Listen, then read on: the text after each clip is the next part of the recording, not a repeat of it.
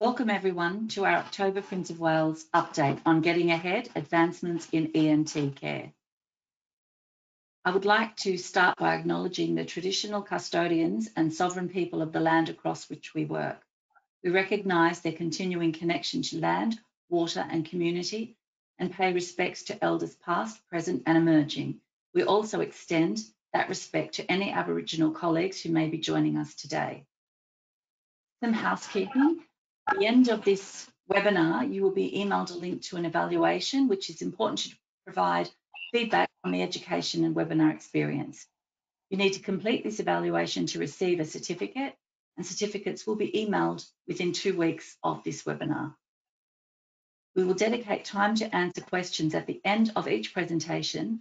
So if you have a question, please submit it as clearly as possible in the question box on your screen throughout the webinar.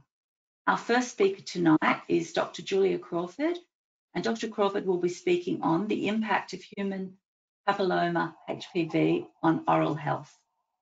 Thank you, Dr. Crawford. Hello, just making sure you can hear me all right? Yes, we um, can. Great. So um, Thank you for the introduction and for asking me to speak. So I'm going to be talking about the impact that human papillomavirus has had on um, the epidemiology of ENT conditions, but most specifically for head and neck cancers and oropharyngeal cancers. Uh, so um, just in terms of my conflict of interest, I work as a proctor for Device Technology, which is the distributor of the Da Vinci robotic system in Australia the objectives for the, the talk today are twofold. One is so that you can identify the common HPV subtype that causes oropharyngeal squamous cell carcinomas. And secondly is to describe what's the most common presenting symptom that you'll see in these types of, of patients. So the first thing we're going to do is a poll, just looking at the risk factors for oropharyngeal cancers. Uh, and I think that Susan is going to run the poll now, the first one. So in terms of the risk factors, uh, is it A, female gender, two, six or more oral sexual partners, C, alcohol intake, or D, all of the above? I think we're just going to give about 10, 15 seconds um, to submit before we go ahead.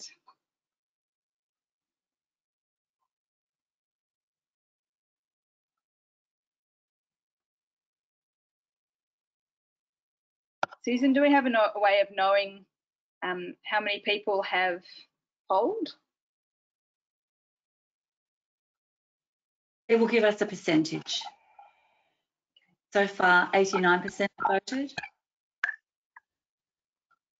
Great. Should we close and go ahead? Sure.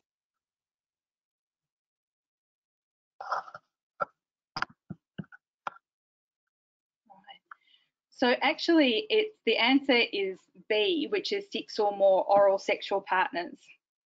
So um, for HPV-related oropharyngeal cancers, it's much more common in female, in the male gender. Uh, it's not actively associated with alcohol intake, although patients who smoke are at a higher risk of poor outcome. And so the answer is six or more oral sexual partners, and we'll go into that a little bit more in detail in a second. So when we're looking at um, HPV uh, itself, there's a 120 different subtypes of HPV carcinoma, um, which are broken down into the high and low risk. And typically the reason they're broken down into that was based on cervical cancer um, and typically 16 and 18 are the most commonly associated with that. And of the HPV subtypes for oropharyngeal cancer, 90% of them are caused by HPV 16. So it's vastly the predominant um, one to cause this type of infection.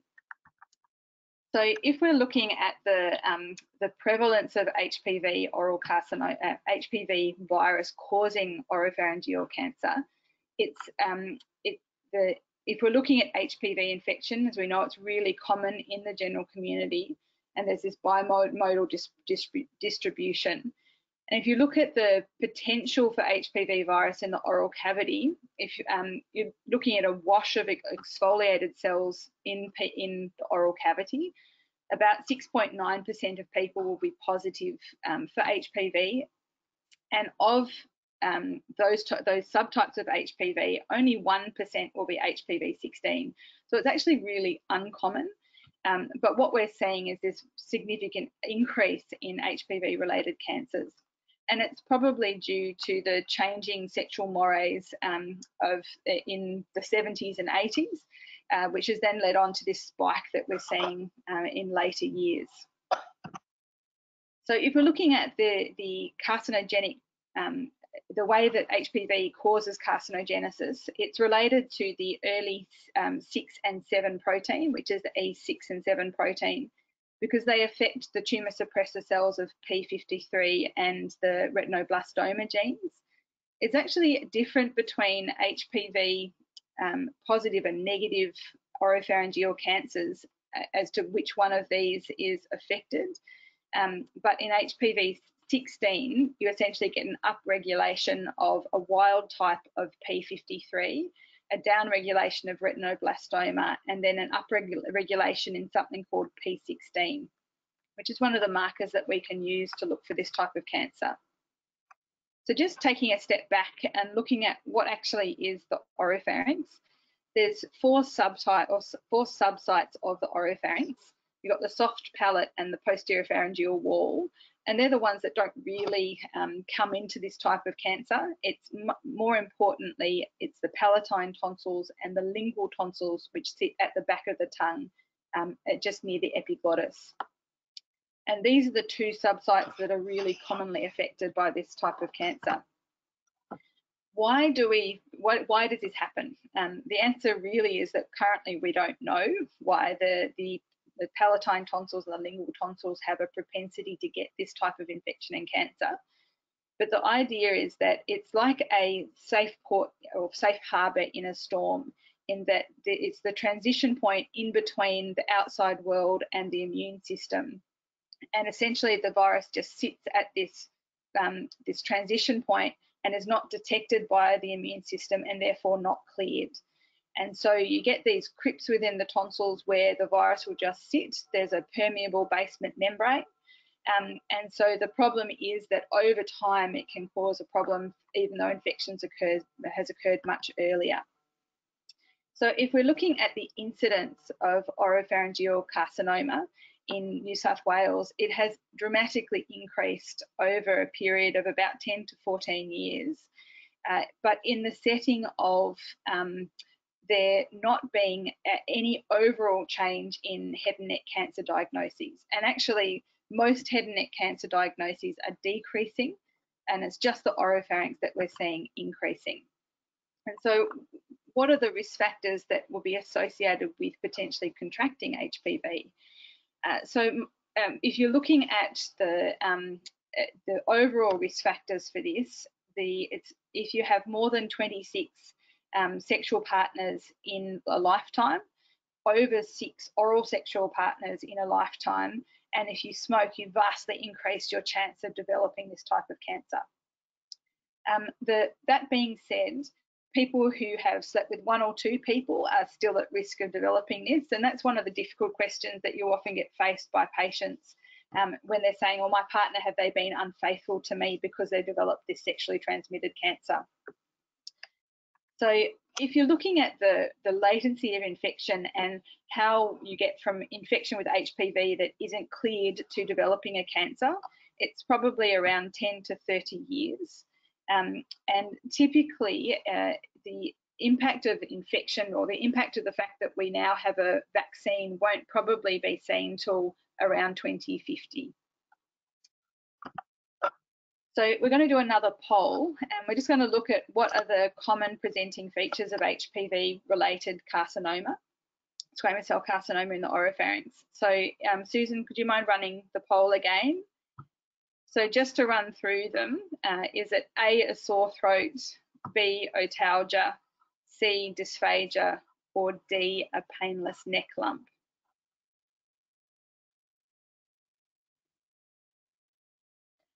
As well, please feel free to ask questions during the presentation. It's funny because I don't get a lot of feedback, so I'm just looking at an, an empty screen, um, but I'm very happy to stop and answer questions as we go along.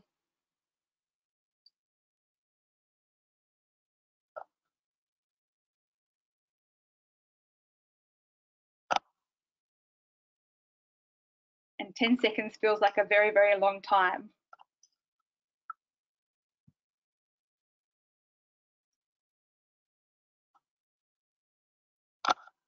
So Susan, do you want to stop the poll now, please?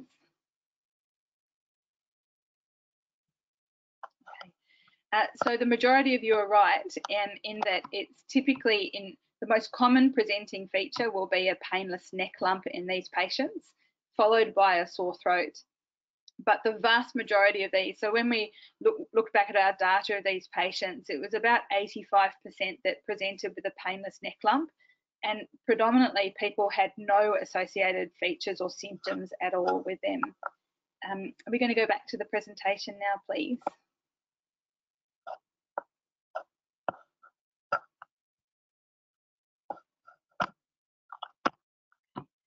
So if you're breaking it down into the type of um, symptoms that you would get with an oropharyngeal cancer versus a, um, sorry, an HPV related cancer versus a non-HPV related cancer, essentially the HPV ones occur in a much younger age group, and sometimes well, the youngest I've seen is 38, um, and but I've but they can extend up into the the later age groups as well, but more commonly younger.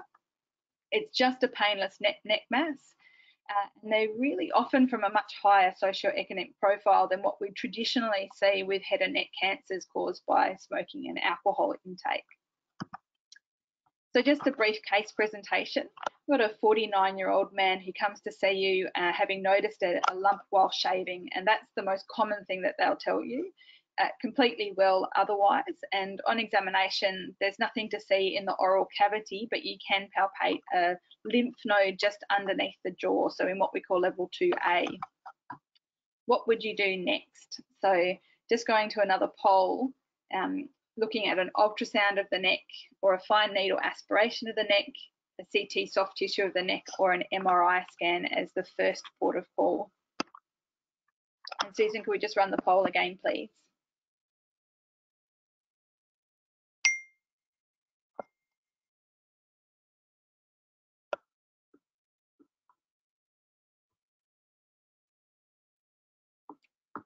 And Susan, could we end that, please?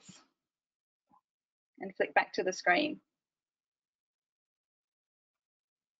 Yeah, so essentially the first step would usually be an ultrasound um, combined with a fine needle aspiration of the neck.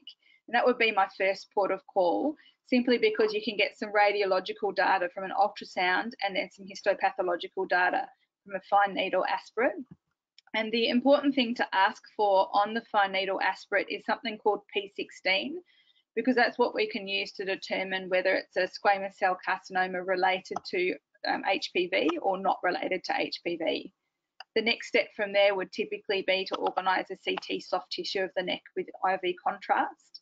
And subsequently, we'd usually present these patients at a multidisciplinary team meeting and often get a PET scan to make sure that there's no distant disease. An MRI scan is useful, but usually only if they're going down surgical planning route to see if there's invasion into certain spaces that would preclude them from having a surgical um, a, a surgical treatment.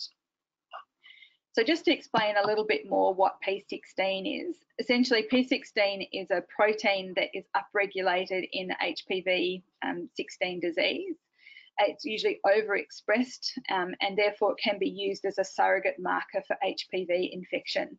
Now, the, the reason why a surrogate marker is used rather than looking directly for HPV is that the HPV um, PCR or H, sorry HPV ISH is much more expensive and much harder to get, and they sometimes run out of the reagents.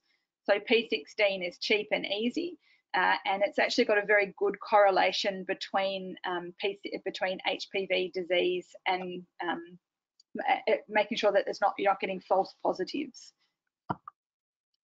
And the reason why it's important with these types of um, these types of cancers is that you have a significantly better prognosis if you have an HPV related uh, cancer of the tonsils uh, rather than a non-HPV related one.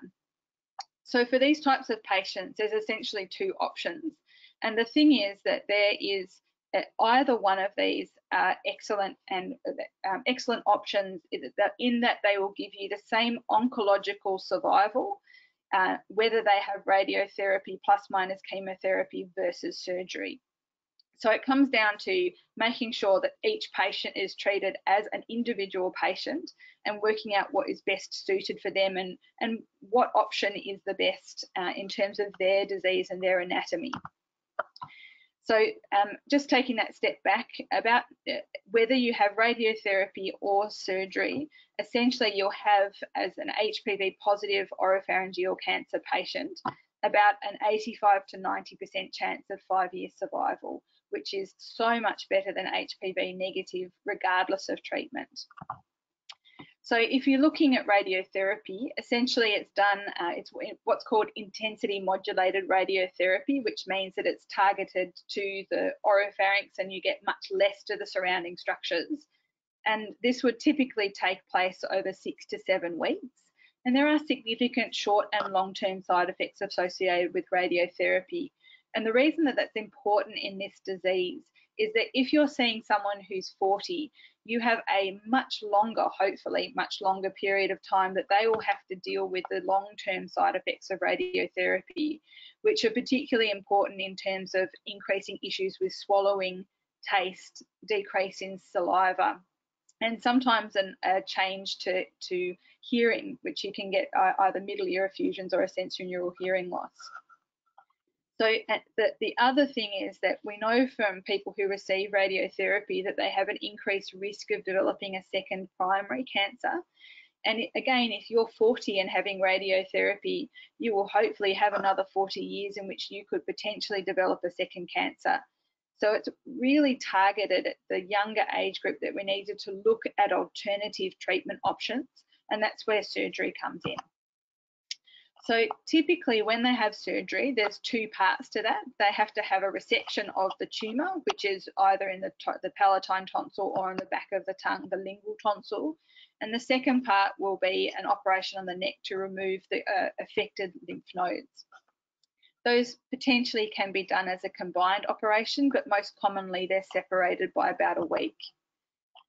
Um, one of the ways that we can do this operation and something that's made it significantly easier to operate on these types of patients is the use of a surgical robot uh, because it allows us to get around corners with wristed instruments and 3D imaging, which means that you can see the you can see everything so much better. Um, the one of the things is that not everyone is suitable for this type of treatment. You can see here where you've we've got a gag in the mouth and holding the mouth open to try and get access to um, the area at the back of the tongue. And so uh, if someone doesn't have suitable anatomy, then this isn't really an option and they would have to go down the radiotherapy route. So um, with this type of surgery, it's really important to have a team around you because it's not just about the surgeon, it's about the assistant who sits at the head of the bed. And you can see how much instrumentation you need to get in to be able to perform this type of surgery. Uh, so again, it's, it's a lot about the anatomy of, of patients. So I've just got a brief video um, just to show you uh, what it's like to have um, a surgery done like this. So uh, this patient had a cancer, which is up here. Hopefully you can see my, my um, pointer. It's in the very top part of what's the, of the palatine tonsil. And it's a what's called a T1 tumor, which is a less than two centimeter tumor. This lady was rarer in that it was a girl rather than a boy because it's really uncommon to see women with this um, and she was in her 40s. So essentially, you take out the area of the tonsil, uh, and then you have to take around uh, out the tissue around it as well. And the reason that's important is that just deep to the tonsil, uh, you have the um, vascular bundle, including the, um, the carotid artery. So the carotid artery will sit just under here, um, behind something called the parapharyngeal fat. So this type of operation would typically take about 40 to 60 minutes. So it's a really quick operation, um, probably uh, um, in terms of the actual surgical time. Um, but the post-operative time of two weeks is like having a tonsillectomy done tenfold. So it's quite difficult for the, them in the initial two weeks. And because there's a really big gap where the, the tissue has been removed, it does take a while for them to relearn how to swallow. But there's very few long-term side effects associated with this. Um, most commonly, the side effects can be a, a slight change in taste. They can develop something called first bite syndrome, which is where you first take a bite of something, you get some pain initially. That would usually resolve within about six weeks. Um, and they can sometimes get what's um, velopharyngeal insufficiency, which is where you get food and fluid coming up through the nose when you eat and drink, but that would usually get better within about six weeks. So um, when we're talking about HPV related cancers, one of the questions that I get asked all the time is how can, uh, can I transmit this to my partner? Um, and currently we don't have enough evidence to say definitely not, but the, it's unlikely. When they were looking at, a, looking at a study of partners of patients who had oropharyngeal HPV related cancers, even if HPV was detected within the oral mucosa or lining, there was only one one of those. It was a, a series of um, 100 patients, uh, and they had 90 uh, partners of those patients participate, and only 1% had HPV 16 related disease, and they did not develop any form of cancer. Um, and the thing is that right now we know that HPV increases your chance, or HPV-16 infection increases your chance of getting oropharyngeal cancer. But we don't know what else interrelates to this um, and why it is that some people, despite being exposed to HPV-16, will clear it versus other people. Um, the, so essentially the, the, um, the advice that has come out is that there is a small chance that you can transmit um, a tumour by French kissing, or sorry, transmit HPV by French kissing, um, but there's not enough evidence to suggest telling patients that they shouldn't do that with their partner. The other thing is that if they've been together for a period of time, it's likely that if they were going to be infected, they would have been infected already and have likely cleared that disease. So the, the only thing I really tell female um, partners of male patients is it's really important that they come back to their GP to have a pap smear just to make sure that they don't have an HPV-16 infection. Um, so that was essentially just going through that, that um, discussion about the partners. So next is Gardasil 9 because essentially this is a disease or a cancer that we can prevent with a vaccination. So um, for Australia, we're lucky in that it was put into the schedule for both females and males. Um, well, females, I think was 2006 and males was 2013. I may be wrong with that. I'm sorry, you guys will probably know better. Um, but because we've had such a good uptake in this, it's likely that this disease will no longer be prevalent or seen in the future, which is unlike a lot of other countries which haven't uptake um, uh, haven't had an uptake of Gardasil 9 and um, successfully. And the thing is that it's been shown that if you just get one of those vaccinations in the three vaccination schedule, that it significantly lowers your chance of developing HPV related oropharyngeal cancers.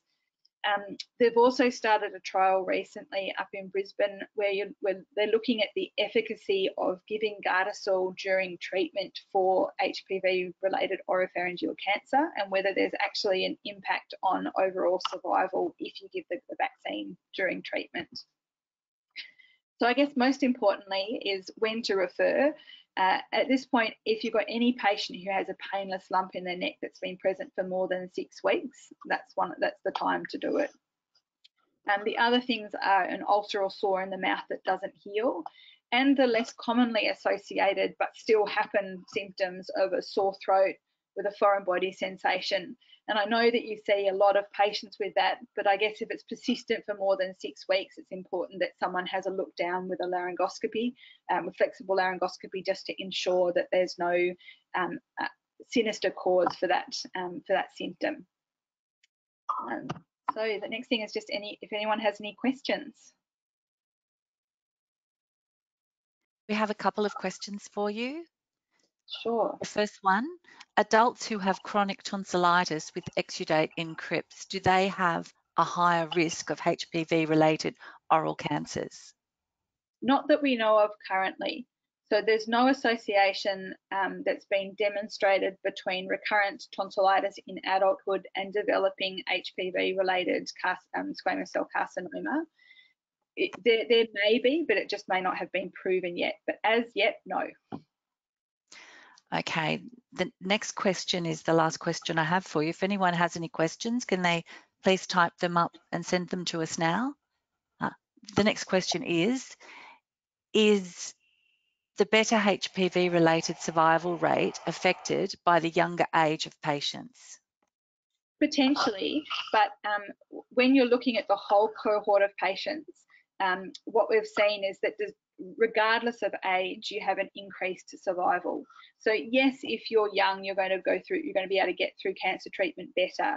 But that increased survival is a seen is seen across the whole spectrum of ages. So if you're diagnosed, and we still see them, patients in their 70s or 80s diagnosed with HPV related SCC, that survival benefit is maintained. Well, at the moment, that's the, oh, we have another question coming in. Did the original Gardasil vaccine contain strain 16? So the it did, it was 16 and 18. So that was the first one. The second one that came out was the quadvalent, which was 6, 11, 16, and 18. So it was most supposed to cover for genital warts, so which are caused by 6 and 11. And the um, Gardasil 9 you, uh, includes the much lower frequency carcinogenic ones, so it's at 30, 31, 32, I think. But yes, the earliest ones included HPV 16. Okay, the next question I have, any evidence of domestic spread of HPV on cutlery, glasses, cups, towels, bathtubs, toilets, etc.? Well, that's an excellent question. It was in my notes to say it and I didn't, so thank you. Um, there is no evidence of that. So there is zero evidence that you can transmit HPV um, 16 via any of those mechanisms. So the only way is by either sexual contact or potentially by French kissing or deep kissing is what it's called in the literature.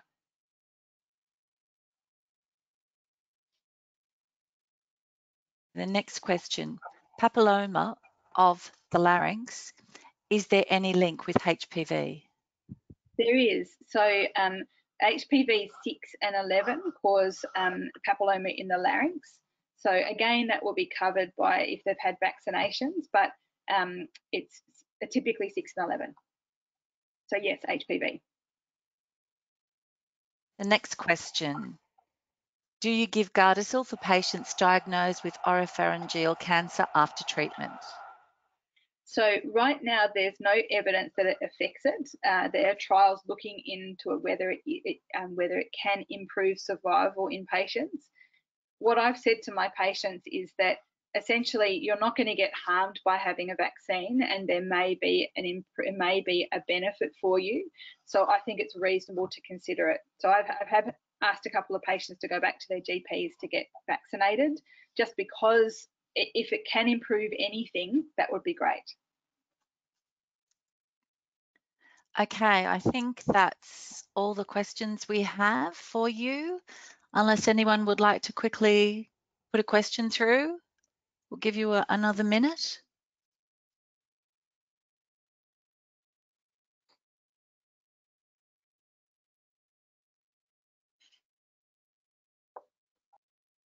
So it doesn't look like we have any more questions here.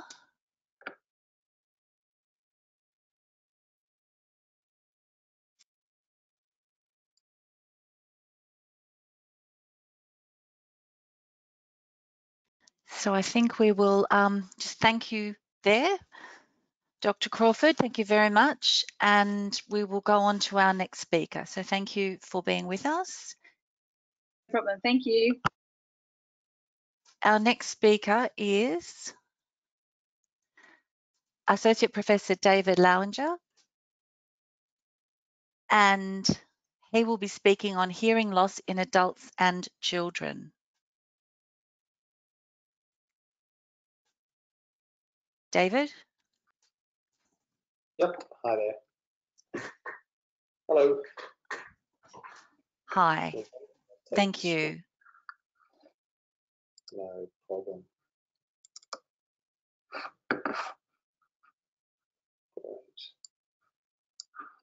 Okay, can you see my screen there? Yes, I can.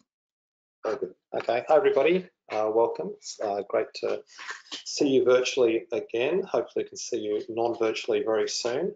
Um, and I hope everyone's doing okay during these challenging times still in practice.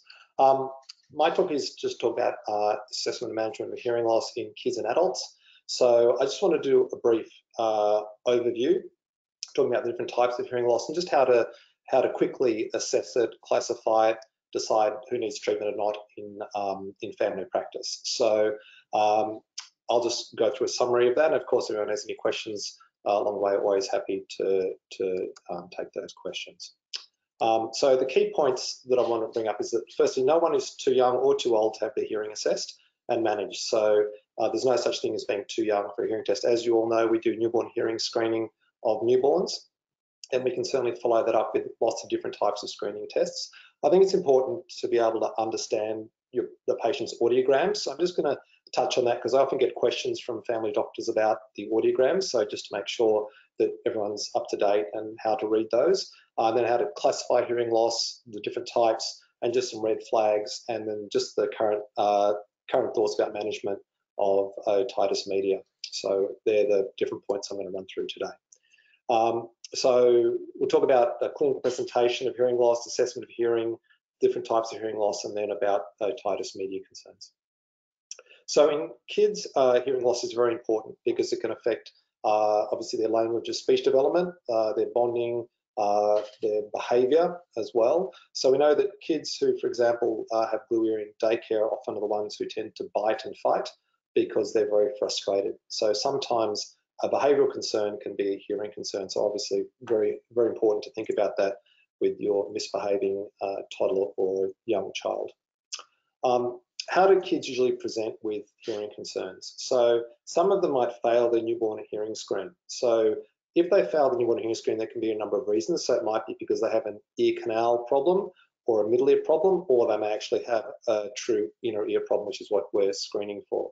So it's always important if one of your patients fails a newborn hearing screen to examine their ears and check the canals and have a look at the middle ears, and then to look for them, as long as those areas are clear, to have a repeat test or to treat any pathology there and then go on and have a repeat uh, hearing test, an acoustic emission test. So when someone fails their first hearing test, there's no need to panic, but it needs to be followed up appropriately. Um, sometimes there might be a perinatal history, such as a child who spent a lot, lot of time in intensive care or is very premature, uh, then you might want to check their hearing because they're risk factors for uh, hearing loss. Or certainly if there's a very strong family history of a parent or sibling having a hearing loss, then it's very important to follow those up. The usual presentation is from parental concerns about their child not uh, gaining speech at the same rate as a sibling or as their peers, or poor response uh, to commands, poor speech, or, um, or having to sit very close to the television or iPad uh, or other device and having it very loud compared to how everyone else likes it, which is now an increasingly common presentation. In fact, the uh, the iPad or iPhone is a good audiometer in uh, in that regard. Um, otherwise, they might present with acute infections or discharge or a complication of uh, ear issue, um, or as said, behavioural concerns, or that you're concerned that they're not uh, presenting at their normal developmental development, they're not hitting their milestones, or they've got ear problems that are just ongoing and not not resolving. So they're the common reasons why uh, kids would present. Uh, when when I examine uh, a child's ear, I always have them sitting on the parent's lap in this position with the parent, uh, one arm around the child, one hand on the head. I think it's very important that parents take responsibility for the children being still when you're examining the ears, because sometimes it's a little bit of a scary thing for a child to have their ears examined, and wiggling and moving makes it dangerous for everybody. So this way, the parent takes responsibility for comforting and holding their child, and lets you have two hands available to examine the I'll always look at the patient, the ear, and then work my way inwards is the way I tend to do it. That's the system that I do, is look at the patient, their face, their facial movement, uh, then look at the external ear, around the ear for any pits or, or concerns, uh, look at the shape of their pinna, and then at the ear canal, the uh, ear canal, the lumen of the ear canal, and then go on to the tympanic membrane and middle ear. Uh, and then look on for different types of hearing testing depending on the patient's age, whether that's a startle type hearing test, a whispered voice from distance, or going on to tuning fork testing and then uh, proper audiometry. And then of course, with the examination, looking at the nose and throat and connected areas, all very important as well. So as I, I tend to have an outside-in uh, examination, starting with the external ear, uh, moving my moving my way inwards, ear canal, lumen of the ear canal, uh, middle ear, and then check the inner ear.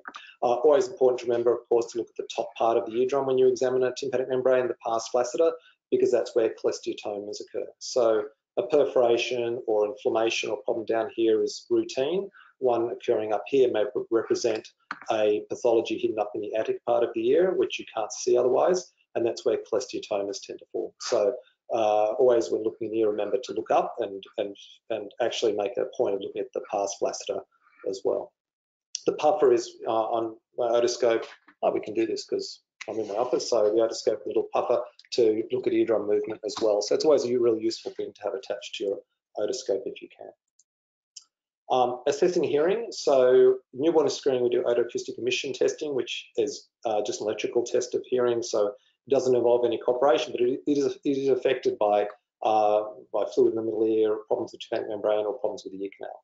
Um, VROA testing, which is visual resp uh, response uh, audiometry. So that's when you have a puppet box and the child is playing and you make a sound and they turn around and then the um, puppet lights up to, to give them a response. So uh, you can check children from about, about seven to eight months of age using that kind of testing. Uh, then older children do play audiometry, which is they wear the headphones and they uh, put a peg into a box when the sound is made, then onto more formal audiometry and tympanometry. And then the other electrical tests of hearing like BERA. So if I have a child who say has severe autism um, or very syndromal or not otherwise cooperative or too young, then a sedated BERA where they're actually sedated in hospital and do a hearing test looking at those electrical potentials. So no one, everyone can have a hearing test if they need one. Uh, I just want to touch on reading audiogram. So many of you may well know how to read an audiogram, but as I said, it's something I'm commonly asked, so I just thought I'd touch on it here. So if it's old news, apologies. If it's new stuff, fantastic. So the way that an audiogram works is a graph where we have, oh, where did we go? Sorry, there we go. So on the x-axis uh, is uh, frequency. So that's like a, I always explain to like a piano keyboard from low notes to middle C, which is here up to high notes on a piano. And then the y-axis is volume in decibels. So it's like the volume on someone's television now going up in numbers. So that's like the numbers on our television. So an audiologist makes a sound in one ear. Uh, they make it loud and loud until someone can hear it. They push a button and they put a circle for the right ear and a cross is for left ear. So in Australia, it's always uh, circles and crosses. Other countries, they use other types of uh, uh, other types of symbols. So the way to check someone's hearing is normal is to get a hearing test. And what we're looking for is for the hearing to be on or above the line 20. So anything in above the line 20, so quieter than 20 decibels, is considered normal hearing. And anything that goes down is then mild, moderate, severe, profound hearing loss. So just for some examples, if we look at this patient over here, um, this might be a child who presents to you with uh, a hearing issue or an adult who might say that they can't hear in one ear. And so this is what the hearing test shows. So we look at the um, right ear, and you can see the right ear is all high, very high on the audiogram, so it's all normal. But the left ear is different, so there's definitely a difference between the two ears of about 20 decibels, which is a significant difference. These other things are put on, which are the brackets. So these brackets represent nerve hearing. So a second test that can be done is to put uh, a hearing uh, device or a sound device directly onto the temporal bone, and that sounds sound directly through to the inner ear. So that bypasses the conductive mechanism. So, and then like if you imagine like the ear, so this is the left side one, a right side would be like a, if it's a little face here, or a right ear. So this is uh, makes it a little bit more complicated, but it's very useful from a hearing test point of view. If someone has a hearing test done at like a hearing aid sales place, they're just going to get a standard audiogram like this. But if they do it properly, then they'll have the bone conduction as well as the, the actual thresholds. So I can tell with this patient that their nerve hearing in the left ear is excellent, but their actual hearing is poor, and that gap is a conductive gap. So if it was a two-year-old, they've probably got glue ear. If it's a 32-year-old, they might have otosclerosis or a perforation or something like that that's stopping conduction. So this patient, if they present you with an audiogram, you say, look, you have a mild hearing loss. It's just about 20s to 40s, so it's a mild hearing loss. It's in one ear, the right ear is perfect, and it's a conduction type hearing loss. If you look at this one by comparison, so this is the left ear here. So this is obviously not normal because it's not all above line 20, and the hearing um, is a mid-frequency hearing loss, and the brackets follow the hearing. So that's a that's a sensorineural hearing loss. So in this patient, the nerve hearing is very poor. So this is the one who might have, this pattern is called a cookie bite audiogram, might have a congenital hearing loss. So the pattern of the hearing loss can help, uh, as well as the position of the hearing loss. So for example, in Meniere's disease, the hearing loss tends to be in the lower frequencies and then comes back up to normal. If someone is old and they have a hearing loss, the hearing loss tends to be sloping down in the higher frequencies. Someone has a congenital hearing loss, it looks like this. So the pattern of hearing can also be helpful. But I just want to make sure everyone's happy with how to read an audiogram. So when you when you see them, um, you, you, know what, what they mean.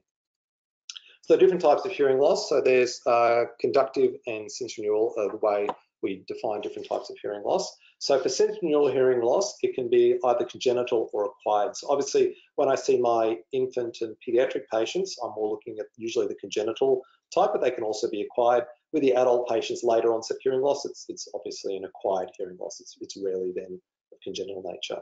Um, a congenital hearing loss might be of two of, of a different type. So it might be what's called structural, which means there's actually a problem with the temporal bone. So we have a temporal bone here. Um, this is a temporal bone. So that might be a problem with the cochlea, with the semicircular canals, or with the inner ear structures such as the vestibular aqueduct or the internal auditory canals. So structural problems in the temporal bone might lead to hearing loss in some. Others might be non-structural. In other words, there's nothing defined on a CT scan. It's all normal, um, but they still have a sensory hearing loss. Um, and then they can be non-syndromic or syndromic. And I've just listed a couple of the important syndromes here that, we, that uh, tend to be associated with hearing loss, like Usher's and Alport's and Waardenburg's. Waardenburg's are the patients have that white forelock, dark hair, but a white forelock, um, and have the heterochromia. Um, Usher's have the retinitis pigmentosa and the sensory hearing loss. So it's certainly associated with some syndromes, but other times it occurs uh, of its own accord. Acquired hearing loss uh, can be of infective nature, so the torch titer, which is um, looking at the different uh, viruses, so things uh, toxo, rubella, CMV, um, uh, you know, different viruses that can cause hearing loss. Um, and then obviously later concerns such as infantile meningitis, a trauma, a cerebrovascular accident in birth, all those things can lead to uh, hearing loss. The ones that are high risk are the ones that do have history of premature birth, very low birth weight, severe jaundice, um, multiple pregnancies such as a twin or triplet, or someone who spent time in, in the neonatal intensive care. So they're all increased factors. So if a child has that history and they come to you and the parent's concerned regarding speech, then it's certainly worthwhile to, to exclude a hearing loss. Uh, what investigations do we do? Obviously, check their external middle ear. Um, investigations include things like a CT scan to look at structure, MRI to look at the nerves, uh, which is often done under sedation. Um, and then blood tests such as the um, torch titer, uh, renal testing, because uh, the inner ears and the kidneys develop at the same time. So if there's a concern, we always want to make sure they don't have a concurrent renal problem. Um, similar cardiac, so sometimes you can have a cardiac conduction problem associated with an ear problem. So those things looked at. Uh, genetic assessment um, and a Connexin 26, which is a genetic screen, which is the commonest cause of genetic hearing loss. So that's important for both the child, but also for genetic counselling for the, for the um, for siblings and for the parents. Uh, what treatment do we use? So it will vary on the degree of the hearing loss. So some might just be, uh, it's a very mild hearing loss, just might need counselling, talking the parents, talk to the teachers, they sit at the front of the class, um, and prevention measures from making the hearing any worse. So that's really important for the children that you have in your practice who have a sensorineural hearing loss, is to make sure that nothing happens that can otherwise affect the hearing. So cleaning the ears has to be done very carefully and properly, no, not uh, because that we don't want to damage the ear canal or the tympanic membrane. Any ear infections get treated very quickly. I would normally discuss um, instrument choice as far as really loud instruments to try to avoid those, um, uh, noise exposure damage, all the things that can make your hearing worse. Um, and in fact, there are some structural concerns which can be associated uh, with things like uh, changes in pressure, things like flying, bungee jumping, playing wind instruments, are certain structural things. So it's always good, good to know. Um, hearing aids, so hearing aids can be put in from newborn up. Um, so if it's a child who has a fairly average type of hearing loss, then you might you might just use normal type of hearing aids. Um, obviously, if the hearing loss is more profound, profound or severe and hearing aids won't cope, they may need a cochlear implant. Um, there are also amplification devices. So Hearing Australia, the government organisation, is very good. So I would normally involve them with my patients who have a sensorineural hearing loss, especially the kids, and they can have speakers on their desk. The teacher wears a microphone and other aids. For adults, they have things like uh, telephone adapters which amplify a telephone or flashing lights on the telephone so when it rings they can see it rather than hear it. So there are lots of different options that we have. For adults, sensory hearing loss is usually related to, number one is age deterioration. So as we get older, unfortunately, just like with our vision, our inner ears tend to wear out, like any electrical instrument. So that leads to an age-related change, which tends to be more in some families than others. There must be a genetic predisposition to that. Um, there's sudden onset sensory hearing loss syndrome, which is very um, important. Um, and uh, I see that commonly. I actually saw two patients today referred in who had that, and they're always given urgent appointments because that's a that's an emergency concern. So that's when somebody suddenly loses a hearing in the ear, which is of sensorineural nature. So the patient comes in to see you. They say, "Look, I woke up this morning and I just can't hear from my left ear."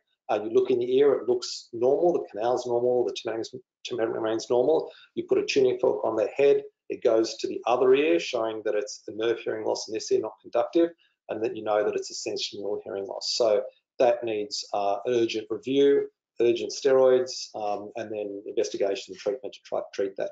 The reason it's urgent is because the sooner you get on and treat a sudden onset hearing loss, the better chance you have of saving the hearing and getting better. If you leave it three weeks, a month, then the chance of any treatment work is, is very small. Um, ototoxic medication, so um, uh, obviously in the old days, gentamicin, which was quite a common medication. Um, again, I actually saw a lady today who had been given gentamicin 10 years ago and was dizzy when she was on it and has a sensorineural hearing loss from it. Um, so uh, these days it tends to be more topical medication. So if somebody has a perforation, not using uh, something like Sofradex, using more Ciloxan or something's not going to affect the inner ear. Uh, Meniere's disease can be associated with a sudden onset hearing loss that is associated with ringing and dizziness, and that can tend to recur. Um, ear trauma, so a trauma to the ear for like a slapping injury, can not only damage the tympanic membrane, can damage the oval window and the round window and lead to a hearing loss. Uh, barotrauma as well, you can have a, a, leak of perilymph fluid, which can lead to a nerve hearing loss. Um, autoimmune concerns, so you can have autoimmune hearing issues where uh, people tend to have a fluctuating hearing loss related to their autoimmune status. Uh, and then, of course, things we don't want to see, which are CVAs, vascular concerns with the ear, or uh, tumours such as an acoustic neuroma or a cerebral tumour. So that's why if someone has a new onset, asymmetrical, unusual, not typical age-related hearing loss, we'll investigate them with imaging. Um, so the most important thing about adult hearing loss is slowly progressive versus acute onset. So slowly progressive one is going to be like an age-related hearing loss usually, or something like that. Whereas an acute onset one is one that you sit up and take notice of, and that needs a priority treatment investigation, things like MRIs and EKG testing and treatment with um, either oral steroids, TTSI, which is transtympanic steroid injection that we do for a sudden onset hearing loss, and sometimes even hyperbaric oxygen therapy for a sudden onset loss. Then if we look at conductive hearing loss. So conductive hearing loss, again, from the examination point of view, is going to occur from the external ear canal. So you might have a child who's missing an external ear canal or has an extremely narrow one. So some syndromes, such as Down syndrome, associated with a very narrow uh, ear canal. Um, so that might that might cause that's like a um, a conductive type hearing loss. Um, then a problem in the ear canal, such as well, wax occlusion or a foreign body or uh, skin debris or psoriasis type debris. So that might cause a conductive hearing loss. And then we go into the tympanic membrane, so a tympanic membrane perforation or inflammation, uh, an ossicular a glue ear problem, so a problem in the contents of the middle ear, uh, which might be an acute otitis media, or chronic suppurative otitis media, or cholesteatoma, so skin in the middle ear, um, an ossicular anomaly, or obviously otosclerosis in adults. So if we think about a conductive hearing loss, so we've got our normal ear up here, and then our big lump of wax blocking this ear, a nasty otitis externa, which is uh, causing obstruction there. This is a fungal otitis, so infections can cause a conductive hearing loss because it blocks the canal. Uh, this is an exostosis, so a surfer's ear in an adult where they have a very narrow canal, uh, and this is a very inflamed, infected, angry uh, ear canal, which is from trauma. Um, so you can see big blood clot in the ear canal. So those trauma can also cause obviously conductive hearing loss with the bruised eardrum, perforation, bleeding in the ear canal. Um, so more middle ear pathology. So look, it can be really hard sometimes to determine uh, a normal ear versus a, a middle ear effusion. So here's a normal ear, here's a glue ear. So they're really can be really subtle or hard to tell. So the things I look for is more not so much the light reflex, which you can see in both, but more dullness of the tympanic membrane, uh, the appearance of a tan-coloured mucus in the middle ear, which we don't have so much here, um, big blood vessels on the eardrum, uh, and then using the little puffer, the eardrum doesn't move. So they're the things I look for. Um, but it can be a really hard call sometimes if someone uh, has a ear or not. And acute otitis media obviously is more obvious because it's red and bulgy and angry, and all of you have seen that and know it all back to front. So I thought I'd just touch on um, the different types of otitis media while I'm talking about that. So there's acute otitis media, recurrent acute otitis media, and then glue ear. Um, and there's different ways of managing those concerns uh, and different risk factors and uh, patient history. And then you sort of think about who needs grommets and who doesn't, how that's changed over the years. Um, so just to touch on this while we're talking about conductive concerns. So otitis media is just having middle ear fluid. So any fluid in the middle ear is considered otitis media, whether that's thin, watery, or thick and uh, gunky mucus. Um, acute otitis media is when it's pus with associated signs of infection, so usually pain, temperature, other inflammatory signs. Um, recurrent acute otitis media is when you have more than four episodes of acute otitis media in a year. So if it's recurring that quickly, then that's recurrent. That's usually because there's ongoing glue ear causing concern. And then OME or glue ear is, is just when there's uh, fusion without any features of acute inflammation. So we've got a normal, our acute otitis media, our recurrent otitis media, and glue ear concerns. So with acute otitis media, do you manage it medically or not? A commonly asked question. And there are different schools. There's the American, let's be aggressive with it school, and there's the English, let's not do anything school, and there's the Australian, which is kind of the uh, let's take the best of both worlds and do what we can school, kind of like with everything else. So um, with medical management, what we tend to do is that if someone, if a child has a high temperature that's not coming down with symptomatic treatment like Panadol and Nurofen, um, then I would treat that child with antibiotics because then the risk of a more suppurative complication is higher. Or if a child is less than two years old, then I would also look at treating them more aggressively just because they, again, are in a higher risk group for suppurative complications, which can be mastoiditis, facial nerve palsy, meningitis, and those things, and, and not clearing the middle ear. So the older the child, the better their eustachian tubes, the better chance they have of clearing it with a bit of Panadol, Nurofen, and maybe some decongestant. But yeah, the younger the child and the higher the temperature, the more I would treat with antibiotics. That's the rule that I tend to stick by.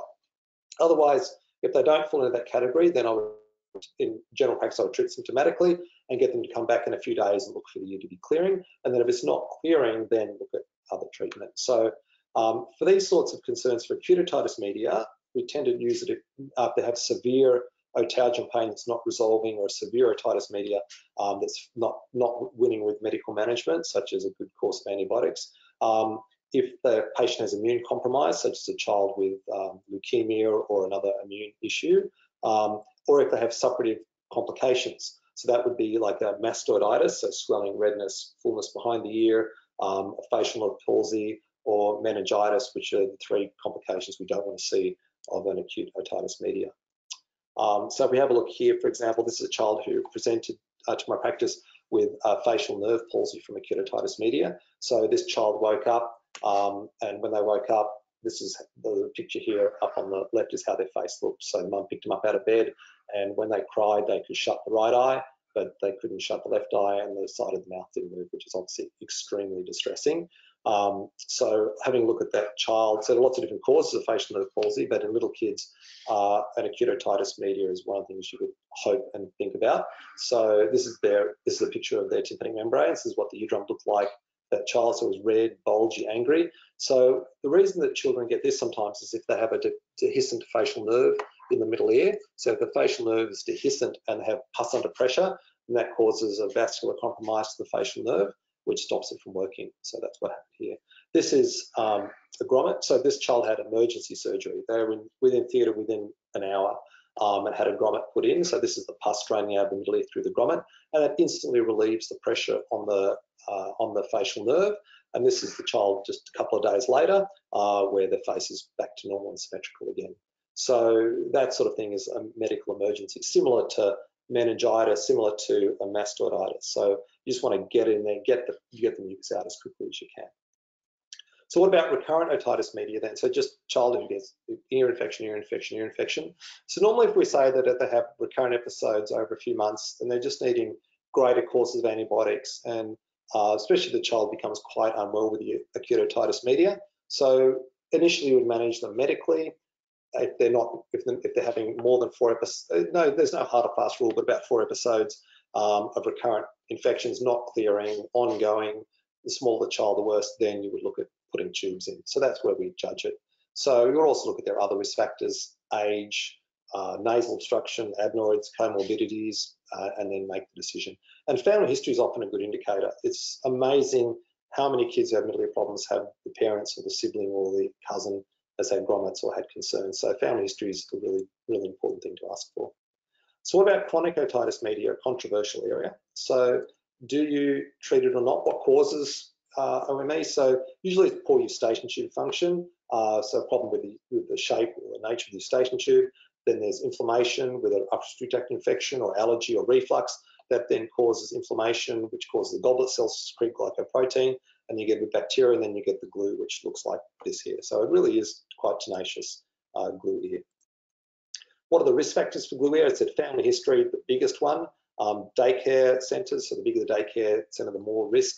Uh, breastfeeding is protective, so lack of breastfeeding. Early childhood episodes of acute otitis, um, passive smoking, big adenoids, and a palate concern. So they're the different risk factors that we have. Um, and usually it's a combination of those um, which then lead to your otitis media. So if you have big adenoids but not the other stuff or vice versa, then you may not get it, but it's usually a combination of the above. Um, they usually present with hearing loss, speech delay, as well as discomfort and balance problems, as well as recurrent. Some never have infections, some have recurrent infections. You examine, look for it, which you're all very used to. Um, so why, why treat it? So if it persists more than about three months, then it's got a poorer prognosis of clearing. So only about a third within clear at six months and uh, similar about a year. So it's usually bringing hearing back and avoiding complications. Um, when it comes to hearing, I said no child is too young to have a hearing test, depending on which type we use. So a child with a middle ear concern, we can always check their hearing. Um, the reason it's important to, to check it is that if you look at speech sounds, this is their audiogram, which you're used to reading now. So if your hearing is normal, you can hear all of these speech sounds. If you have glue ear, your hearing is normally like this. So you miss out, sorry, like this. So you miss out on all of these speech sounds. So that's why their speech sounds muffled. So you can do all the low frequency sounds, but miss the high frequencies. So that's why it's important to treat in the early in the early childhood if they have a concern there. And usually their tympanometry, instead of being a nice rounded tympanometry with the eardrum movement, is usually quite flat. And so then it can have you can have learning, behavioural, and other complications. Um, and sequelae complications with ear, just finishing off now, um, can be chronic perforations from eardrum thinning, atelectasis with eardrums thinned and sucked in, um, tympanosclerosis and ongoing fluid in the middle ear, and then chronic perforations and chronic more middle ear concerns. So that's why we treat it. So watch for, for glue ear problems. You can try a course of antibiotics, you can try some decongestants, but from a study's point of view, um, the thing you usually, if they don't clear otherwise by themselves, then you need to do something about it. And the, um, the pneumococcus vaccine has led to a reduction in, in otitis. Um, so who do we consider for tubes? Complicated in acute infections, protracted recurrent acute otitis media, or kids who have uh, glue ear that's persisted with hearing loss or a structural issue or other associated concerns. Um, so just in conclusion, um, with have a child who has that concern, you try medical intervention first, and if, if, you're not winning, then we go on and look at other interventions. Um, so I hope from this talk that you and I know how to read audiograms. Um, just think quickly now when, when, you see patients about how to classify hearing loss into conductive and sensorineural, and then which ones are red flag urgents, which are the acute adults um, or the kids who have other associated issues, and just to touch on the management of OME. And that is the end of my presentation. Thank you very much. Thank you. We have one question for you at the moment. Anyone else with questions? Can you quickly put them through? Uh, asymmetrical hearing loss on an audiogram yes. in an adult with unilateral tinnitus, does it warrant urgent ENT referral? Uh, so if, is it acute onset or more chronic? So certainly if it's acute onset, then I think it's worth looking at quickly because it might be a sudden onset sensory hearing loss syndrome or it might be a type of Meniere's without the dizziness. Um, if it's more long-standing, then certainly it needs to be looked at because you need to exclude a unilateral asymmetry, unilateral hearing loss that's of sensorineural nature, you need to exclude an acoustic neuroma. If it's of conductive nature, then you're in an adult, you're more looking at a middle ear problem, such as, such as a glue ear problem or otosclerosis. So more acute onset, urgent review, less acute onset, needs review, but not as urgently. Okay, the next question Question, whitish gluggy exudate in the external canal, easiest way to manage it, is it fungal or mixed with bacterial infection? Sure. So a bacterial infection tends to be uh, one of two bacteria, which is either Candida or Aspergillus. So Candida looks white and fluffy like cotton wool, and Aspergillus looks black like soot. So normally uh, ear infection, most ear infections are bacterial, um, usually coming from swimming or from too much cotton budding with the yeast, usually it's going to be um, a waterborne bacteria or a skin flora bacteria. Um, but the fungal one, so the gluggy, mucousy ones usually more bacterial, but the fungal ones usually the ones which are more hard, flaky, and have that black or white appearance. Next question, what is the difference between chronic OM and OME? Yep, um, so chronic means it's been there for more than three months. OME is glue ear, so it's just mucus in the middle ear, and it becomes chronic if it's been there for more than about three months. Next question, where can we refer baby for hearing tests as some audiologists say will only do after a certain age? Sure, so it, it depends, it's very much audiologist dependent. Um, so in my practice, we test down to six month olds and in most uh, pediatric um, pediatric practices have an audiologist, they will do that. Um, if it's less, if it's, you've got a less than six month old, then I would always want to check the external and middle ear and check those components. But then I would do it either at uh, like at Sydney Children's Hospital or Westmead Hospital, depending on where you are, um, or at Hearing Australia, which is the government hearing organisation. So the kids, you really want someone who does a lot of lot of kids. So we, our audiologists here are all paediatric trained, so they do they've done syndromal children, all sorts of children. Um, but you really, if, if, it's, if it's younger than that, then I would get one of either Sydney Kids or, um, or Hearing Australia. The next question. What is the contraindication for hearing aids? Why do hearing aid shops need clearance from the GP? Yeah, that, that's that's a really good question. Well, it, that that comes from the usually from the government hearing aid form. So you've seen that green government form. It says on the uh, clearance for hearing aids. Um, look, I think that the clearance usually is just that the patient's ear canal, uh, tympanic and middle ear look, look good and that you wouldn't treat it otherwise. Um, I personally think another clearance should be that the hearing loss looks like it's uh, a hearing loss that would benefit from hearing aids. So my medical clearance would be if their mid to high frequencies are down to moderate severe. So I usually say to patients that if on the audiogram your hearing is down in that 1000 to 2000 hertz area, then that's worth getting hearing aids. And that they don't have a one-sided asymmetrical sensory hearing loss that could be an acoustic neuroma that needs imaging. So, I, so my medical clearance would be a bilateral age-related hearing loss of moderate to severe degree with no other complicating factors, and then that's a medical clearance. But I think that's just to make sure that someone's actually looked in the ear and has excluded other other problems. Okay. Can, uh, sorry, is there any medical treatment for glue ear? Yeah, so look, it's certainly, if a child hasn't had any antibiotics, then studies have shown that uh, like a one week course of Amoxil is a good idea. Um, if if a child is old enough, I'll usually try some nose blowing exercises. It also depends on the time of year. So going into summer, I'll usually try some nose blowing exercises. You can try things like um, nasal steroid sprays, but their efficacy hasn't been proven. Um, but it's like a one month course, so one week course of antibiotics, one month course of nasal spray can be worth trying in an older child who can blow their nose um, and see whether they, they then review and see if they come to clear. Can you comment on the role of inhaled or oral steroids in acute otitis media or glue ear and eustachian tube dysfunction? Yeah, sure.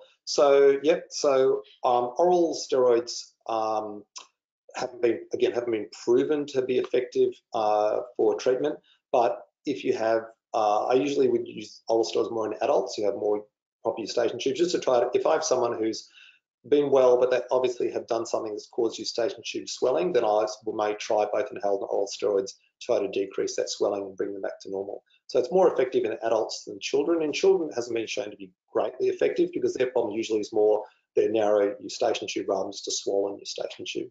Um, but as I said, you, for acute otitis media, usually it's nothing or antibiotics. For more gluey chronic otitis media, then you can try a short course of inhaled steroids in a child or oral steroids in an adult. Next question, how do you teach the patient to blow the nose to clear the eustachian tube in glue ear? Uh, so it depends if it's an adult or a child. So if it's an uh, an adult, I'll just usually talk about, I'll explain them how to do a Valsalva pitch that has puff their cheeks out. Um, if it's a child who doesn't know how to blow their nose, um, look, there are different things we try. Sometimes it's it's things, it's games you play, like the parent holds a little ribbon in front of the nose and they try to blow the ribbon because they have to try to blow out their nose, not out their mouth. Um, for older children, there's a thing called an Otovent balloon, which is like a balloon you blow up with your nose, and that teaches them how to blow their nose. So they're the things that I tend to do. But if a child is a good nose blower, I would just say every time they brush your teeth, blow your nose, try a short course of nasal steroids, see if it leads to an improvement. Okay, the next one, should we organise an MRI first before referring a patient with asymmetrical hearing loss for ENT review? If so, what scan should we order? Sure, good question. Um, look, that, that's an individual uh, choice. Some some family doctors, some patients will come with an MRI, and some will come for an assessment first and then have an MRI. I think for me, the important thing is the pattern of the hearing loss again. So if somebody has a, a typical Meniere's type pattern, which is more that low frequency one, then I might look at trying to treat and manage that first before getting an MRI scan, see if that improves. Um, but get an MRI if it, if it doesn't. Um, again, it's more for the more sudden onset ones. Um, if you're comfortable ordering an MRI, then, then it's MRI of the IAM, internal auditory meatus, IAM, and brain. So that's what you order. Um, uh, so that's the sort of scan that I would normally order for patients. So a scan, the MRI, IAM, and brain.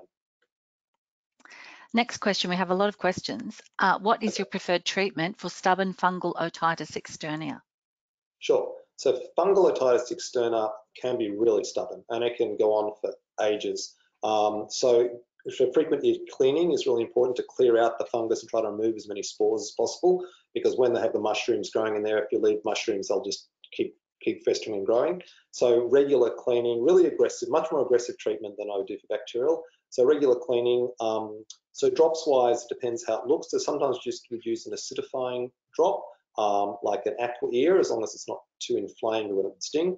Um, medical treatment, think either Kenacomb or Locacorten type drops are the ones that I would use, which are both quite sticky, which is usually a problem, but that's just the antifungal drops that we have. The problem, obviously, with treating a fungal one with Sofradex or Ciproxin or uh, antibacterial ones is it'll just make the fungus worse because it kills off all the, the normal flora in the ear. So um, antifungals would be mainly Kenacomb otic or uh, Locacorten drops. And, okay. and significant frequent cleaning until it's really clear. Next question, does swimming trigger otitis media in children? No. No, Okay. so, so swimming, so otitis media, the, the mucus is produced in the middle ear, so swimming itself won't produce it. It was interesting, uh, one of my colleagues in Western Australia had a look at um, children swimming in indoor heated swimming pools during winter and found in his study that they do have an increased incidence of, ear, of middle ear infections, but that's the only link between swimming and, um, and otitis that I've ever heard of. Otherwise, swimming swimming is quite good because it's a middle ear concern. It's not a not a um, external canal concern. So you can't get water up to your eustachian tube. It's it's produced the fluid is produced in the middle ear. Next question, how early in life can cochlear implants be used? Oh, from basically you know three months, three to six months old. So very very early on in life. Yeah. So kids who are kids who are identified on a newborn hearing screen having a sensory hearing loss will usually come to a cochlear implant around the age of six months. Uh, any outpatient hospital ENT clinics in the public system? Oh, that's a really good question. Uh, yes, there are. Um, in Sydney Kids, where I'm attached, there's as ENT outpatients. It just, uh, especially after COVID, when it was all shut down, it just takes a long time to get into them. Um, and uh, for children, the Sydney Kids Westmead, there are clinics, uh, children's clinics. They're just hard, hard to get into and uh, take a long time. Um, the, on the adult side, um, again, there are clinics at Prince of Wales and St Vincent's and St George and the local hospitals. It's just a matter of trying to get into them and um, their prioritisation. So normally in the clinics, they just will prioritise more urgent, life-threatening stuff above more routine stuff. But all those hospitals have, have ENT outpatients. Are cochlear implants better than hearing aids in moderate to severe hearing loss? Yeah, that's a really good question. Um, so look, the mantra I usually use, if you can get by with a hearing aid, you're going to be better off than having a cochlear implant if you've got a moderate to severe hearing loss. So if hearing aids are working for you, then that's a really good option. Um, if they're not, if they don't stop working, that's or they don't, your hearing is too poor for those, that's when you go on and look at a cochlear implant. So a good working hearing aid is better than a cochlear implant un unless the hearing aid's not doing it enough. Next question, management of ongoing tinnitus. Oh my goodness, how long do we have? It's Marlene, I don't want Marlene's kids to starve. She hasn't. You you have about nine um, minutes left. Okay, so um, uh, tinnitus. Well, firstly, you have to try to find is it pulsatile tinnitus or non-pulsatile tinnitus. So they're different. So pulsatile tinnitus usually has a structural cause, whether it's an ear or a neurovascular or a systemic cause um, whereas non-pulsatile tinnitus usually can be a conductive, sensorineural, or other cause is how I would classify it. So firstly, you've got to try to diagnose what causes it, and that changes everything. But say we're talking about the patient who has otherwise completely normal ears, the hearing is not too bad, but they, they have tinnitus, um, then I would always investigate a new onset tinnitus with a, with a scan and a hearing test and those things. Um, if they're all normal, then there are uh, herbal, medical, psychological, and device treatments for tinnitus as needs be. So investigations usually will start with a hearing test then be guided by there. Sometimes you would do imaging if you thought it was indicated, other times not, um, and then management. But say most common tinnitus is associated with an adult onset age-related hearing loss. So the, the inner ears are wearing out, they get the tinnitus noise instead.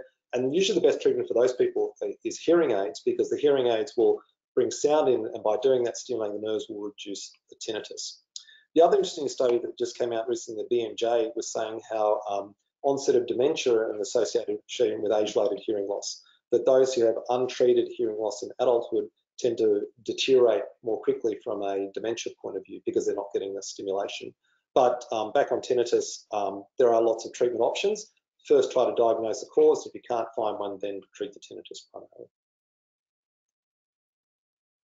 Next question, what is the dose of oral steroids for an adult? Yep, okay.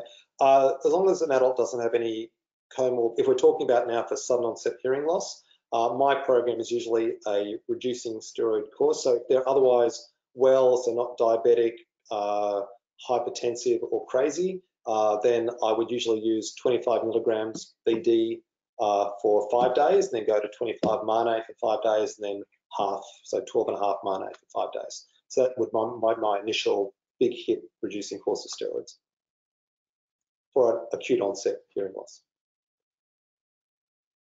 Next question, what advice would you give to someone with recurrent earwax requiring frequent ear syringing? Yeah, sure, good question. So there are lots of ear cleaning products on the market, but as we all know, none of them really work very well in the in the case of someone whose ear is really blocked. So if I have a patient who has to come and see me for regular ear toileting or cleaning, um, normally talk about trying a prevention course. So firstly, again, is there a cause? So do they have a exostosis or a supernarrow ear canal or anything you can treat structurally, or is it just one of those people who makes a lot of wax that gets stuck? Um, and if it's the latter one, um, then I should talk about the prevention course. So it's no good using Waxol and Cerumol and whatever ear drop you like once the ear's blocked with wax, because it just turns into like, as we all know, just a porridge of blocked waxy goo, and then they really can't hear. So in a patient who has who has to have regular regular ear cleaning, I usually say, look, buy some Waxol or Cerumol, but use it once every two months. So every two months, on the first two days of every month, first two days of every second month, you put some Waxol or Cerumol into your ear to soften it up so that it can come out without building up like that. So that's usually a prevention course that I would do, as long as there's no other structural impediment. Um, at the moment, a big problem I'm seeing is what I've called the um, COVID-related AirPod ear. So everyone being at home, working from home using AirPods, it's just pushing the wax down really hard. So that's causing, I'm seeing a lot of patients who have really impacted ears because of that. So um, telling, you know, those sorts of cases, maybe use headphones sometimes, not, not AirPods all the time. Take breaks when you're not wearing, when you're not working, take the AirPods out. Don't wear them at night. Um, let your ears clear themselves or use the drops as a preventer. Okay. There is a big sales pitch for hearing aids. How does Yeah. one select a hearing aid? Yeah, well, I mean, anyone above the age of 50 um, gets advertising for um, hearing aids almost every day, and it's just not not often not necessary. I mean, I think it's just it's just like advertising for for any treatment where some people need it, some people don't. So as I said, not everybody with a hearing loss needs hearing aids. They need their family doctor to look at the different types of hearing, conductive versus sensorineural. Um, and as far as types of hearing aids go, it, it's whole, it's a huge industry. It's a multi-billion dollar industry. Um, so the, basically breaking it down though, the different types of hearing aids that are completely in ear canal and hearing aids that have a little bit that goes behind the ear, which, um, so the one that goes behind the ear is a little bit more powerful and it tends to be more preferred. The one that goes in ear canals are good for people with short hair or no hair um, because you can't see it, but they tend to block up with wax more easily. Um, uh, our audiologist who does hearing aids, she usually uses uh, Oticon or there are different lots of different brands of hearing aids. Um, a lot of the hearing aid sales places now are owned by hearing aid companies, so they'll only sell one type of hearing aid. Um, so you just have to be careful. And I, I think it's always wrong to scare, especially older people, about their hearing when it's not necessary. So always just be a little bit cautious about the sales pitch. Should we refer tongue tie patients to an ENT? And is there a public clinic at Randwick for this? Ah, okay. Uh, yes, we see tongue ties all the time, um, and we usually deal with them surgically. So it's usually us or our paediatric surgery colleagues who deal with those um, properly. Um, our patients, again, either the ENT or the um, or the general surgery, uh, paediatric general surgery outpatients uh, would be the public option uh, for those. Um, so that we, we tend to do it that way. Okay. Um, are there any particular pet peeves regarding referrals from GPs, e.g. inappropriate referrals or investigations that should be done prior to referral? No, I don't have any any uh, pet peeves or concerns. If, if, there's any concerns, I'll always ring a family doctor and talk to them uh, about a patient, or they're always welcome to ring me. But no, no, all good. I think that you always have to be careful with ears because, as we know, the most litigated um, litigated medical legal concern in the eastern suburbs is um, damage from ear cleaning. So I think you always have to be really careful. Now the health, the um, our funds will usually our insurance funds will usually settle it. So I just think always be really careful if you're cleaning someone's ears, particularly if they're on um, blood thinning uh, medication, because ears can bleed really easily and they can be damaged really easily. So I think just just always be careful and um, uh, just like if something, you know, and I think, you know, just be sensible as, as you all are and all referrals that I've seen have certainly been very sensible. So there's never any problem. Always happy to, to check it out if there's a if there's an ear concern. Well, thank you very much. Uh, that was wonderful, um, Professor Lowinger, and um, I think we can give you a rest now. You've answered lots of questions. Okay, so no um, I will now um, welcome Dr. Marlene Soma, who will be speaking on paediatric snoring to PSG or not to PSG. Hi, can you hear me, Susan? I can hear you. I'm just making you a presenter. So I'll leave it to you, Marlene. Thanks, David. Yep, I'm just turning off my stuff. Thank you. Yeah.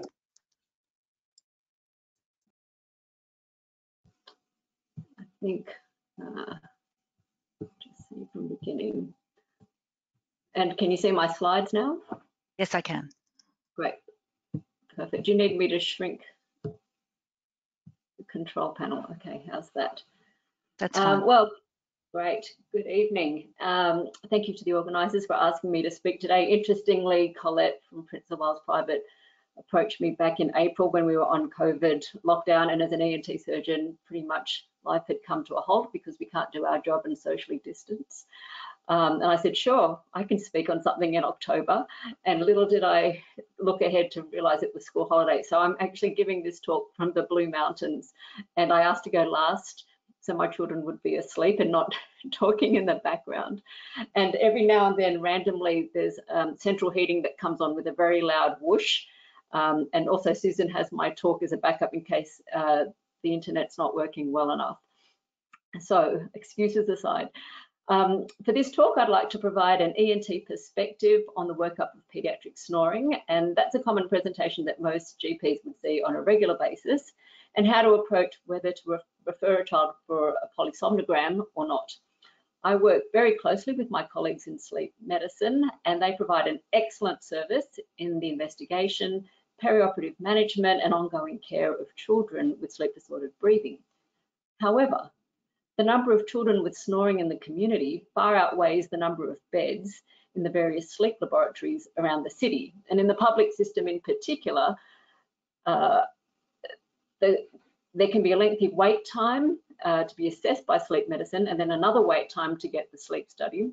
And then some parents might ask, is this step really necessary in their child's overall management or will it affect their outcome? So I have no conflicts of interest and no financial disclosures, and I have obtained permission for the clinical images that I'll be showing. So some background on me. Post-fellowship, I trained in the UK and US in paediatric ENT, and I've been at Sydney Children's Hospital for the last 11 years. And where most of you, I assume, are aware that we are uniquely sited with four hospitals on the one campus, including Prince of Wales Private, and we're interconnected by corridors and lifts. And I have a particular interest in airway surgery, and I see a lot of complex patients, especially those who have been refractory to other therapies. And for this topic, it is important to set the scene as a speaker, because when you ask how an ENT surgeon approaches an investigation like a PSG, the response will vary depending on the context. Though united on what we do as a specialty trained group, when you grind it down to the individual doctor-patient interaction, there are lots of clinician, parent and institution biases that will come into play. So for the surgeon, um, where they trained, uh, the surgical technique they prefer for the adenotonsillectomy and the risks associated with that, what backup they have available at their hospital, what is their interest in the field, do they participate in multidisciplinary sleep meetings, as well as the type of referrals that they see.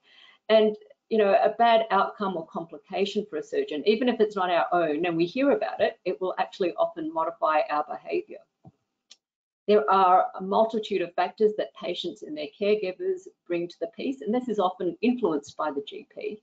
So what one might think is acceptable may not be achievable, may be unnecessary, too risky, or intolerable, too invasive, or too, too expensive for another. And then, of course, institutional biases with not only geography, but resources and access, say, to sleep medicine comes into play. And that will influence decision making when it comes to getting a sleep study. So before we look at when to refer for a PSG, it's interesting to look to the past to understand where we are today. So tonsillectomy is one of the most frequently performed ENT procedures and has been around for over 2,000 years. It was initially performed with a fingernail or metal hook, and then eventually from the 16th century with, like in these pictures, snare and guillotine type instruments, which we thankfully have evolved from, um, though there is still not insignificant morbidity related to the procedure. Uh, by the end of the 19th century, illumination was better and the first adenoidectomy was performed in 1867 in Denmark. And the indications for surgery up until then really hadn't been for snoring, but mostly been for infection or to release what was thought to be humours for other systemic and mental conditions.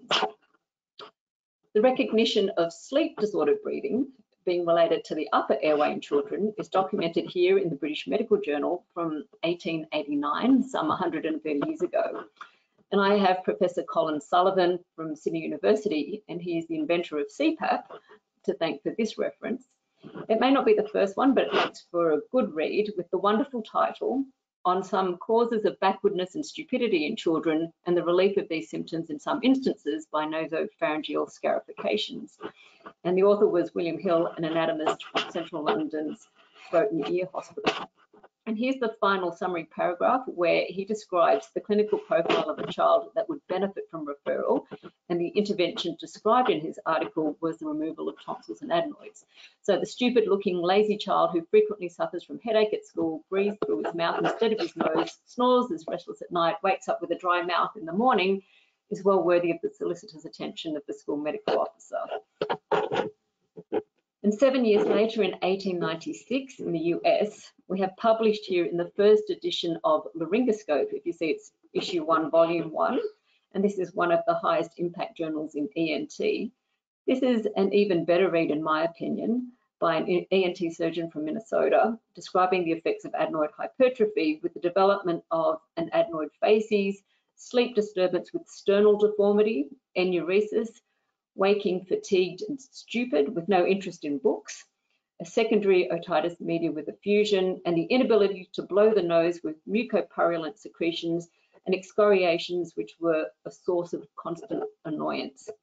And then once the tonsils and adenoids were removed, the boy was much changed 18 months later with a new life appearance and was now full of ambition. So fast forward 130 years, and this is the type of patient most of us ENT surgeons would see on a regular basis. And hopefully you can hear the sound, but it's essentially a child with very high-pitched obstructed stertor and pauses.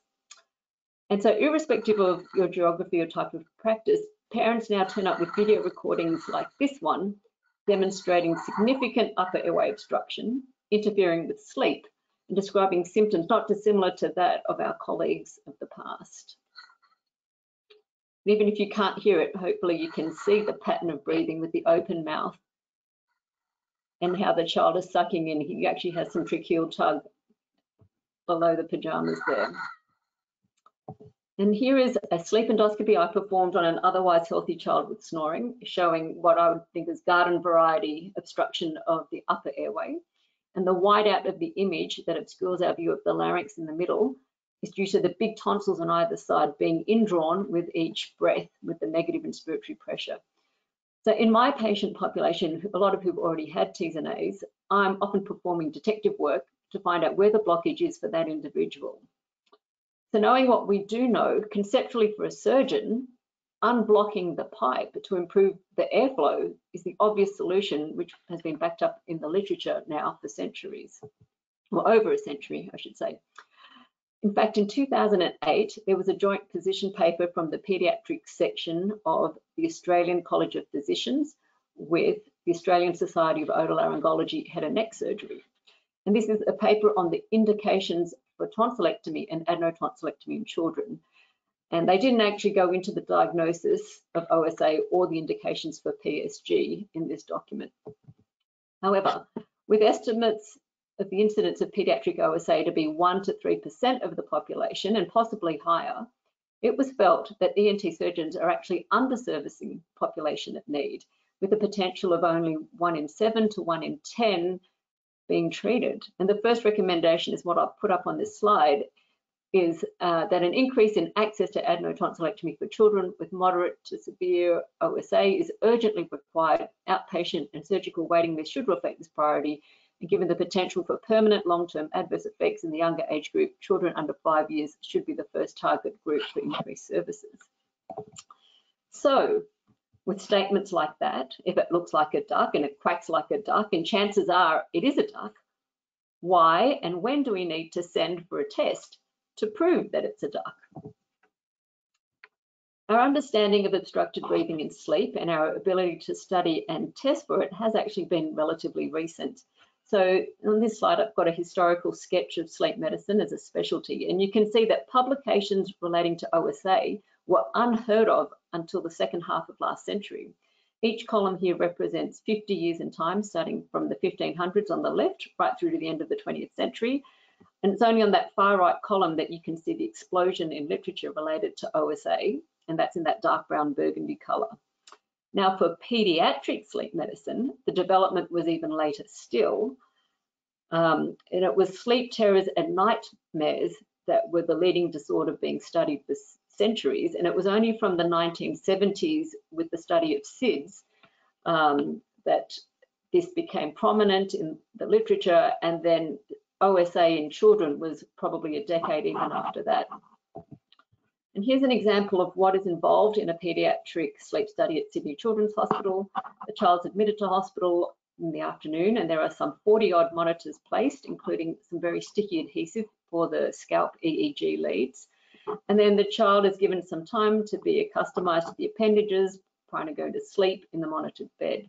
There are nurses and scientists staffing the lab throughout the day and night, and then times required the following day to review the many, many hours of data. Now, at Randwick, this analysis is done by the sleep physicians themselves, but in a lot of other centres, it's performed by a technician, and it's some, some places it's even machine scored. But you can imagine with limited beds in the sleep lab, how labour intensive and time intense this process is and why there is a waiting list for the service. And, but here is the example of the quality of data obtained, which is much more than any home oximetry or other ambulatory study will provide. So the PSG is what we call the diagnostic gold standard to differentiate habitual snoring from the various severities of OSA, and it can help with the diagnosis and treatment effects of many of the sleep disorders and also help to titrate pressure support required for those children needing CPAP or BiPAP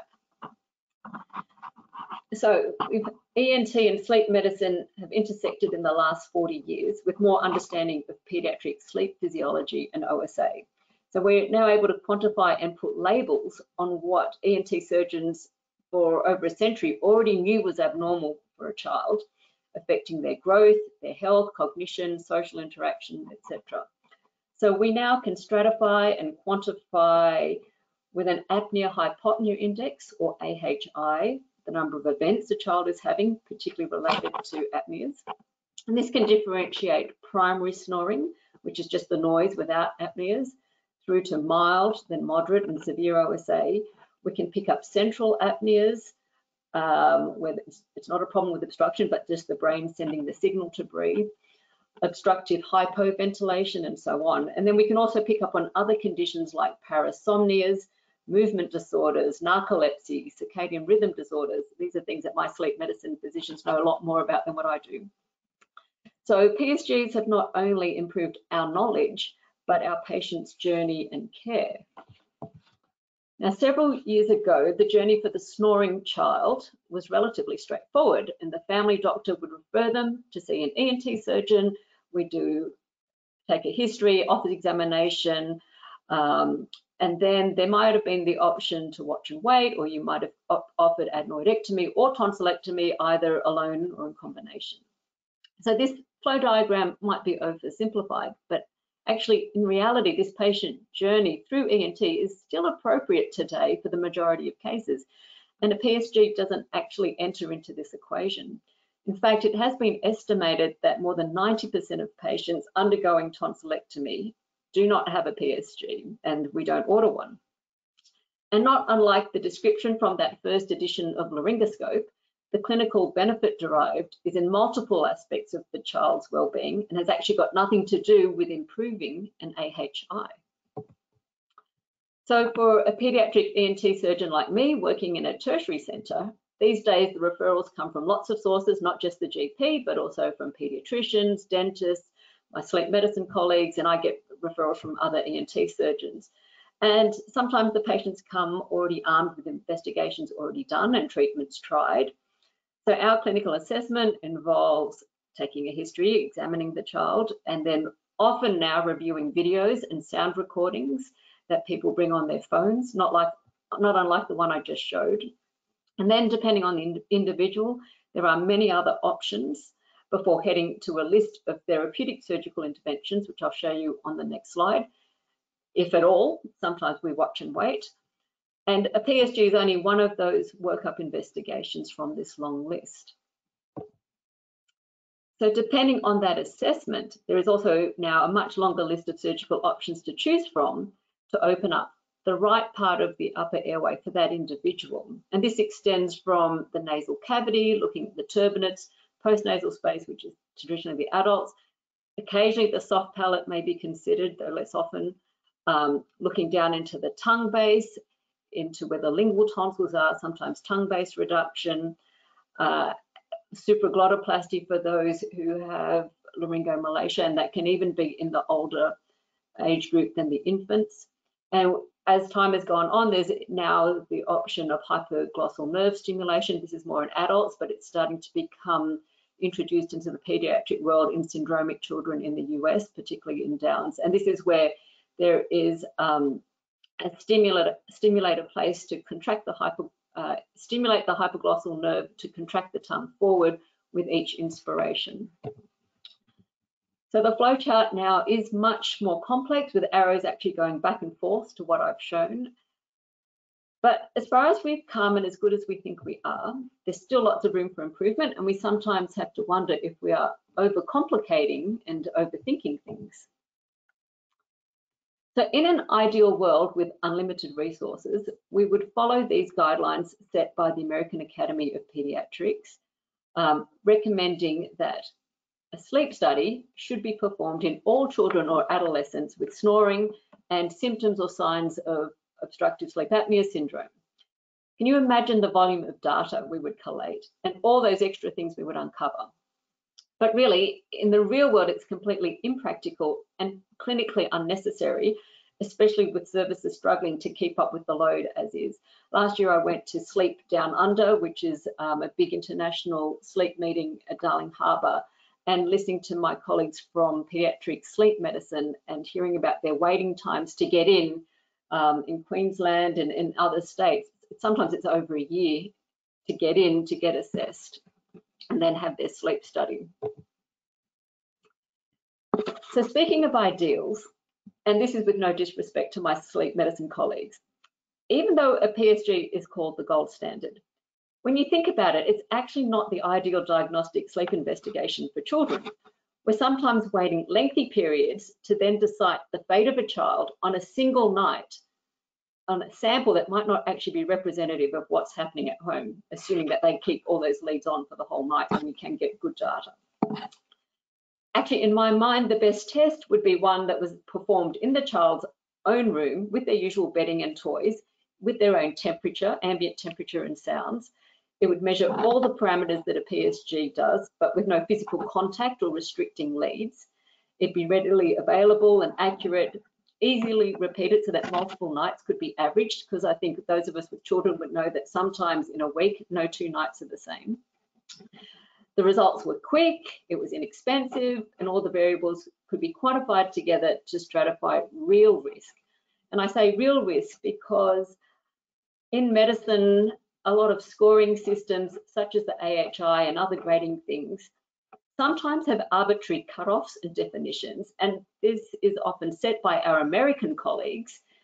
And the reasoning behind it is that so it can comply with the wording required for insurance and billing purposes in the US.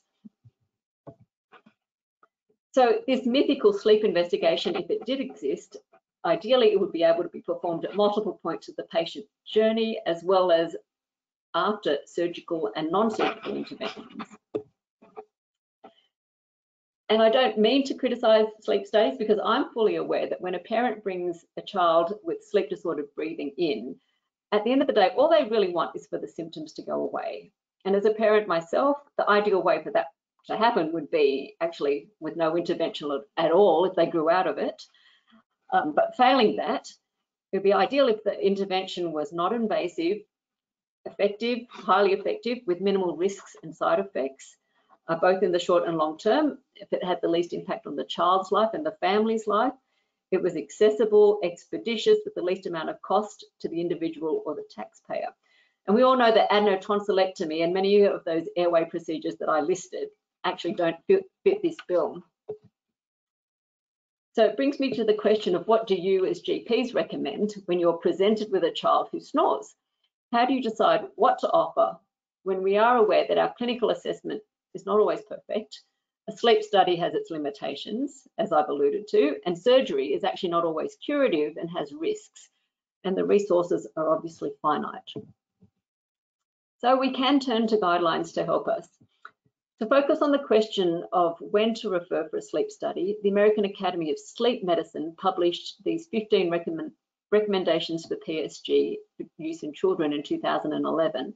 And I've provided this article as one of your references and pulled out some of the recommendations. Now they haven't updated it and this is the most up-to-date one from this society. So they included, like the American Academy of Pediatrics guidelines, that you should refer for a PSG if clinical assessment suggested uh, obstructive sleep apnea syndrome in children, or if there are residual symptoms of OSA post T's and A's, to assess for residual OSA in children with pre-op, moderate to severe OSA, obesity, craniofacial anomalies, neurological disorders, as well as children being considered for adenotonsillectomy. Now, if you actually look at the list, the first and the last points, which are they're actually really tough in real life practice. They're essentially saying if you think the child could have OSA, and that's just on your clinical assessment, or if they're heading to surgery, then you should do a PSG. So that same year in 2011, in the ENT literature, there were clinical practice guidelines published on looking specifically at polysomnography for sleep disordered breathing prior to tonsillectomy in children. And this document was actually updated in 2019, and I have provided this one as your second reference article as well. So compared to the sleep medicine guidelines, I think these recommendations are sounding more achievable.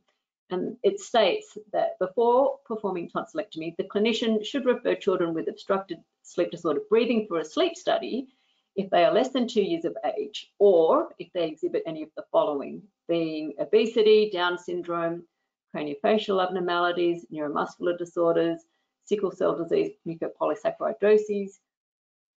The clinician should also advocate for a PSG prior to tonsillectomy for those in whom the need is uncertain, the need for tonsillectomy is uncertain, or if there is a discordance between physical examination and the reported severity of the obstructed sleep disordered breathing.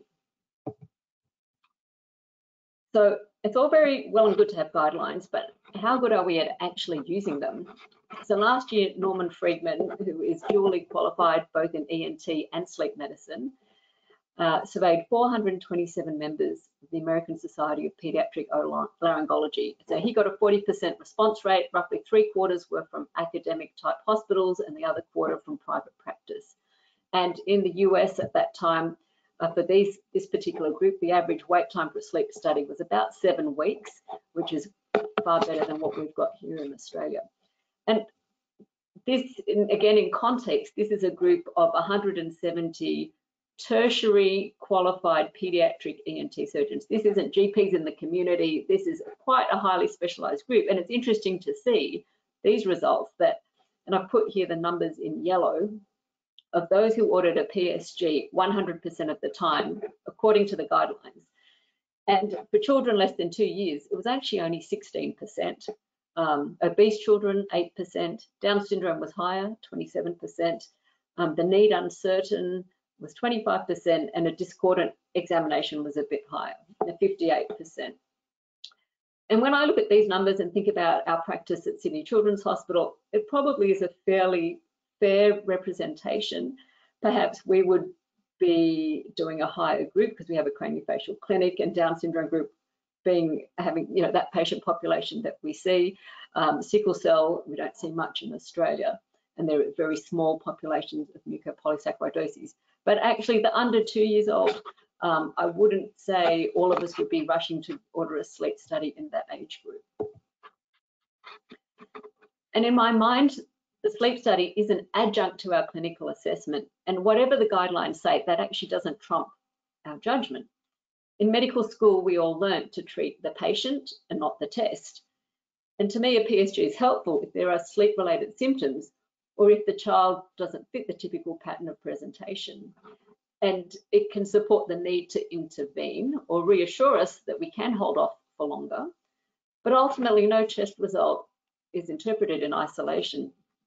And irrespective of the PSG results and the recommendation typed at the bottom of the report, which my colleagues sometimes write tonsillectomy recommended or not recommended, if a surgical procedure is undertaken, actually the ultimate responsibility lies with the surgeon, not with the sleep doctor.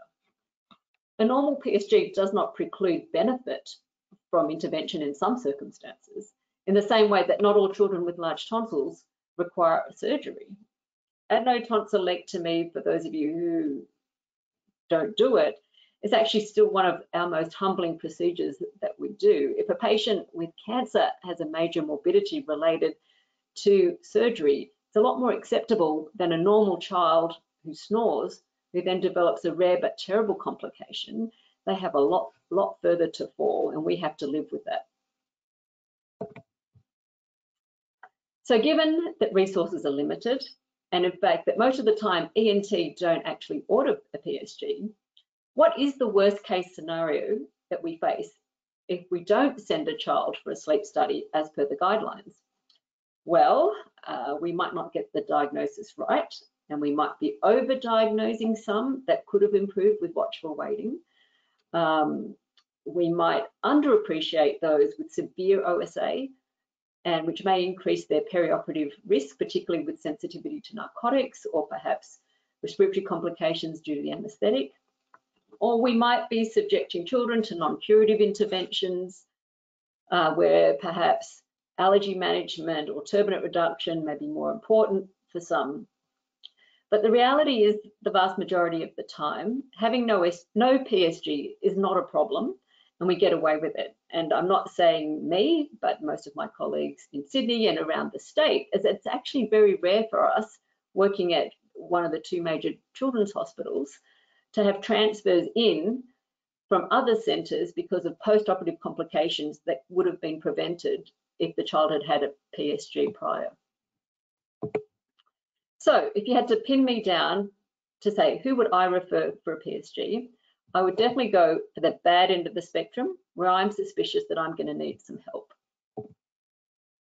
So this would include those special populations like Down syndrome, uh, syndromic or craniofacial abnormalities, because they have the small or narrow face, that the box is creating the crowding of the upper airway, neuromuscular disorders because the soft tissue is collapsing within the box, um, sickle cell disease, mucopolysaccharidosis.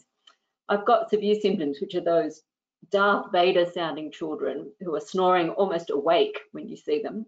And some of them may actually benefit some perioperative CPAP, as well as the extremely obese to help with their anesthetic risk.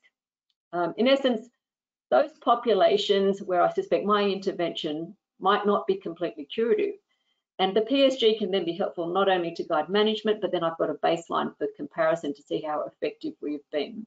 And these groups are the ones that may go on to have the sleep endoscopy, which was that camera down, or further surgery to relieve another anatomical site, or they may even require long-term non-invasive ventilation, such as with CPAP. And then I've got the other end of the spectrum, where I feel like a PSG might help guide whether an intervention is actually necessary. Um, so sometimes we are all unsure of the diagnosis, or there may be a strong parental preference for further investigation, or just disagreement in whether surgery is required. Um, there could be other sleep pathology, like some of those disorders, or just sleep hygiene issues, where the poor sleep, the waking up, is actually to, to do with behavioural issues and, and how things are at home. I think infants under one are more reasonable than infant than say saying toddlers under two as a blanket statement because a lot of those I think are quite safe to go on depending on their size and what what, what you're seeing. And similar to the guidelines, I would agree that when there is discordance in the clinical picture, say you've got very tiny tonsils and it doesn't gel with our usual familiar pattern of um, diagnosis and recognition of what's going on. And then there's the rest in the middle who may be primary snorers or they may have mild, moderate or even severe OSA. And this is where all those contextual influence come into play. So if resources were unlimited and a sleep study was easy to access, of course, we'd all follow the guidelines and everyone would get a sleep study. Though I guess perhaps the results would mostly be academic and it probably wouldn't change management or outcomes. We know that every clinical practice guideline is to be used at discretion. In reality, the biases from the clinician, the caregiver and the institution contribute to this art and science of how we practice, especially for that middle group of patients. There are some circumstances where defining the severe problem can actually help us bump up priority for surgery because in ENT we have our own issues with waiting lists.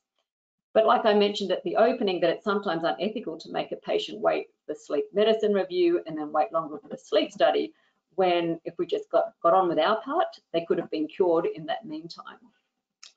So for general practitioners, I would say take a thorough history and examination. Ask the parents to video or record what they are seeing, because sometimes that's almost as good as a sleep study. And if it all points to upper airway obstruction, contributing to snoring in an otherwise healthy child, that is no syndromes or other craniofacial problems, then probably a PSG is optional. If, however, you or the caregivers have any concerns, then it's important to get as much information as possible to help guide the management path. And most ENT surgeons would be able to help facilitate that process because we rely on our sleep medicine colleagues as much as they do on us, and most of us have a good working relationship with them. So in conclusion, uh, to PSG or not to PSG, that is the question. I certainly don't claim to have all the answers, but I hope to have provided you with one surgeon's perspective. And thank you. I'm happy to take any questions. Thank you. Uh, we have one question. Uh, does how does sickle cell disease contribute to obstructive sleep apnea syndrome? Um, it can contribute to their oxygen carriage, and uh, it, they can it can precipitate a crisis, um, especially post surgery. But it's not something that we see a lot of in Australia. I saw a little bit of it when I worked at Great Ormond Street in the UK. Okay, the next question is there a best age for T's and A's, or when would you think you could wait to see if a child will grow out of it?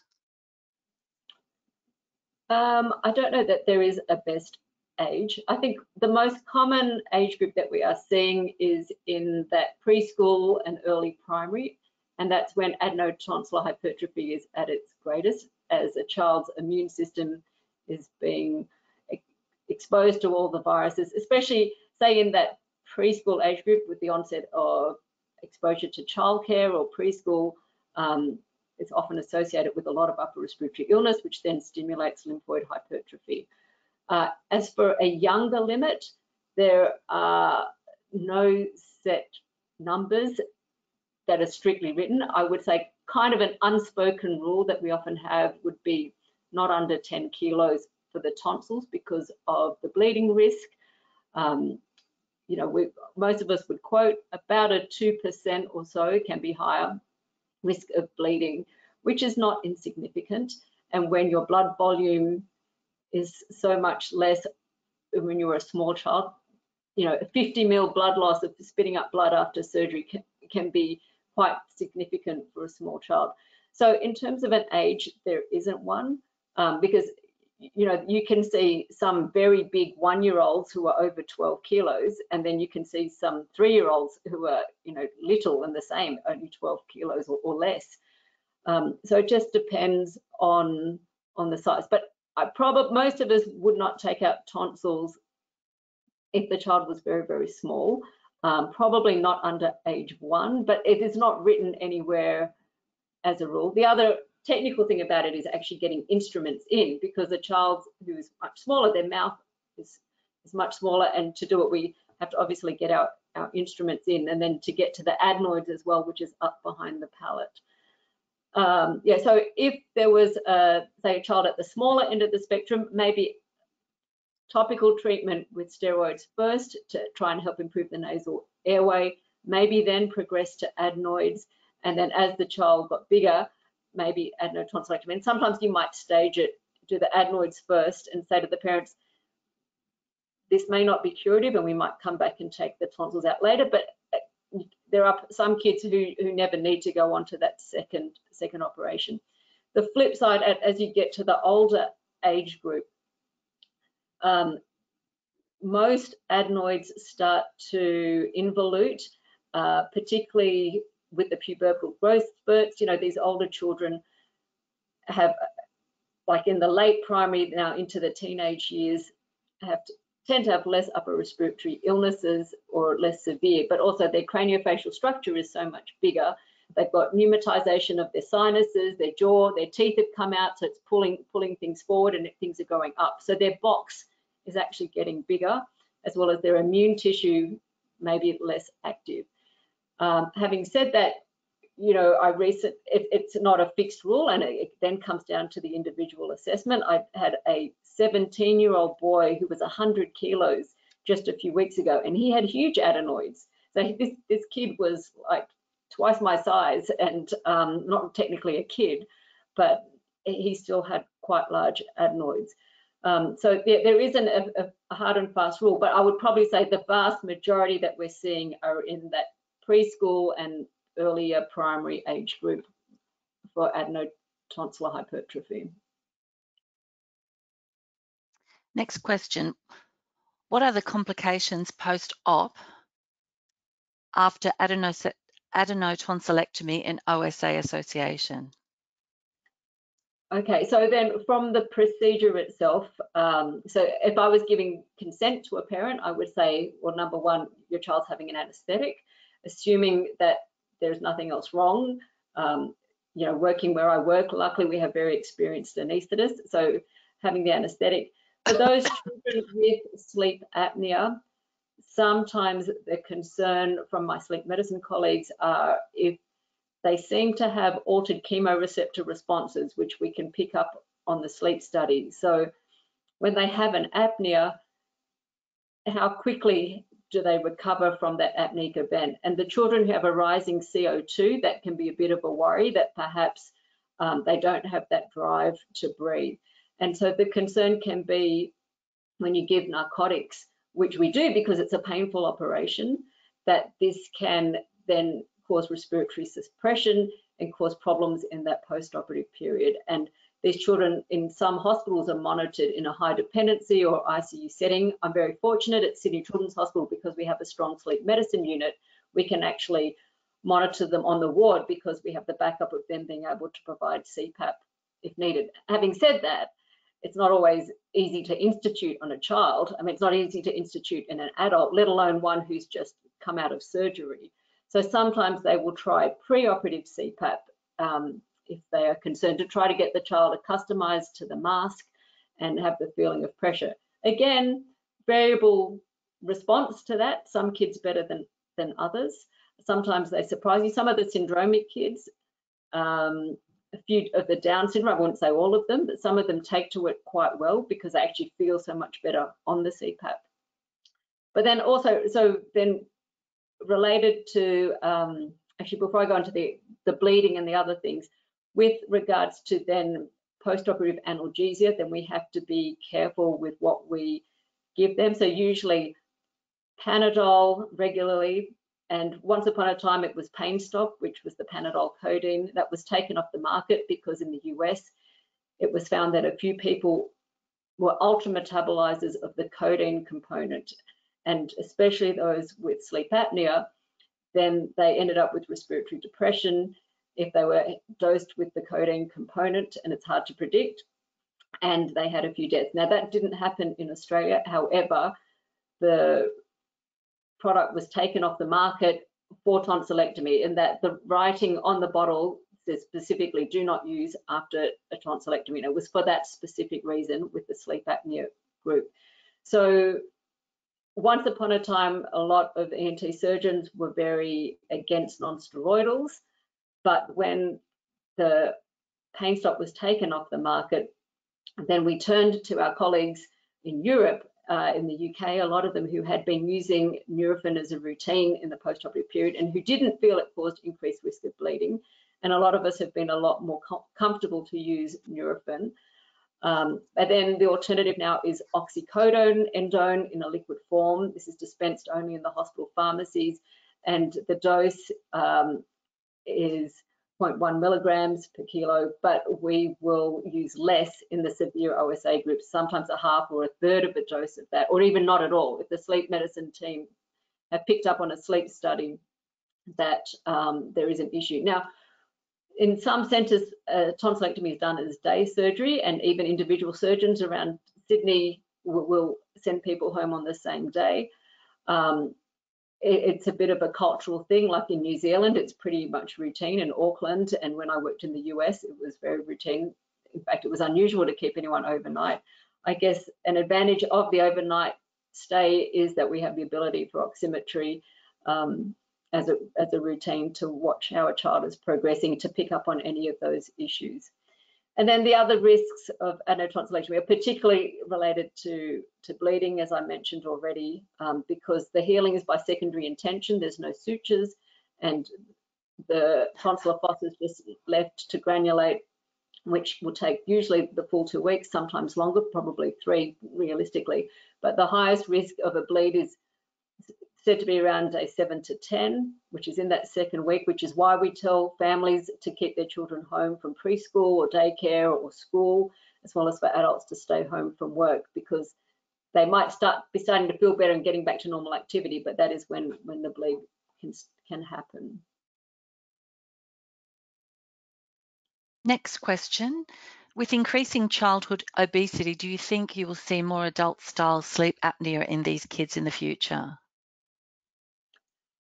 Uh, yes. Yeah. Well, it's interesting. I, I, attend the multidisciplinary sleep meeting, so it's every fortnight at Sydney Kids, and they we present. Well, the sleep team presents all their interesting cases, and there seems to be a range. I mean, obesity is increasing definitely, and it's really a, a difficult problem um, where it's actually the adenotonsil uh, hypertrophy. We can do our surgery, but actually like my 100 kilos 17 year old, I said to him, well, look, you need to try and get into a healthier weight because actually, despite everything that I've done and put you through, you might end up on CPAP anyway.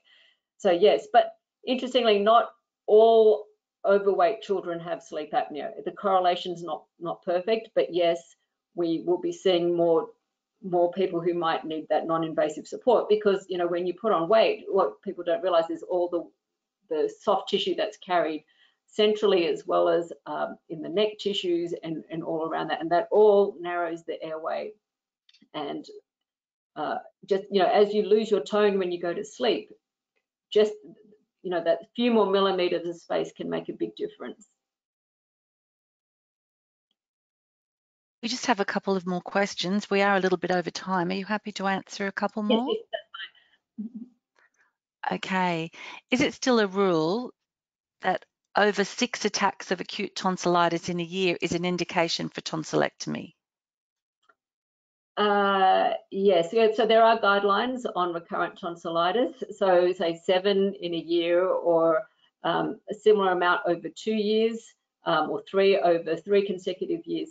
But again, it comes down to to that individual family. There are many, many people. I mean, the pendulum has swung over the years. You know, once upon a time, tonsillectomy was mostly for recurrent tonsillitis. And, you know, there was a generation, say the grandparents' generation of now, where whole, you know, brothers and sisters lined up to get their tonsils out. Why? Oh, just because we all, it's just something that we did. And then the pendulum swung the other way that nobody got their tonsils out. And I think, you know, we're somewhere back in the middle. I, I have to say, if you have a look at our waiting list and who is getting done, the sleep disordered breathing is now much more predominant than the recurrent tonsillitis. Um, so it just depends. And, you know, those people where this pe pendulum swung from the 70s and 80s, you know, a lot of them outgrew it. So you don't have to have your tonsils out, but it comes down to how much of an impact is it having on that child's life, how much time off school, the need for antibiotics, that's not perfect to be having six, seven courses of antibiotics and affecting your microbiome. Um, per year. So I, it comes down to that. But yes, there would probably be some benefit. And there are guidelines on that, which I'm happy to provide too.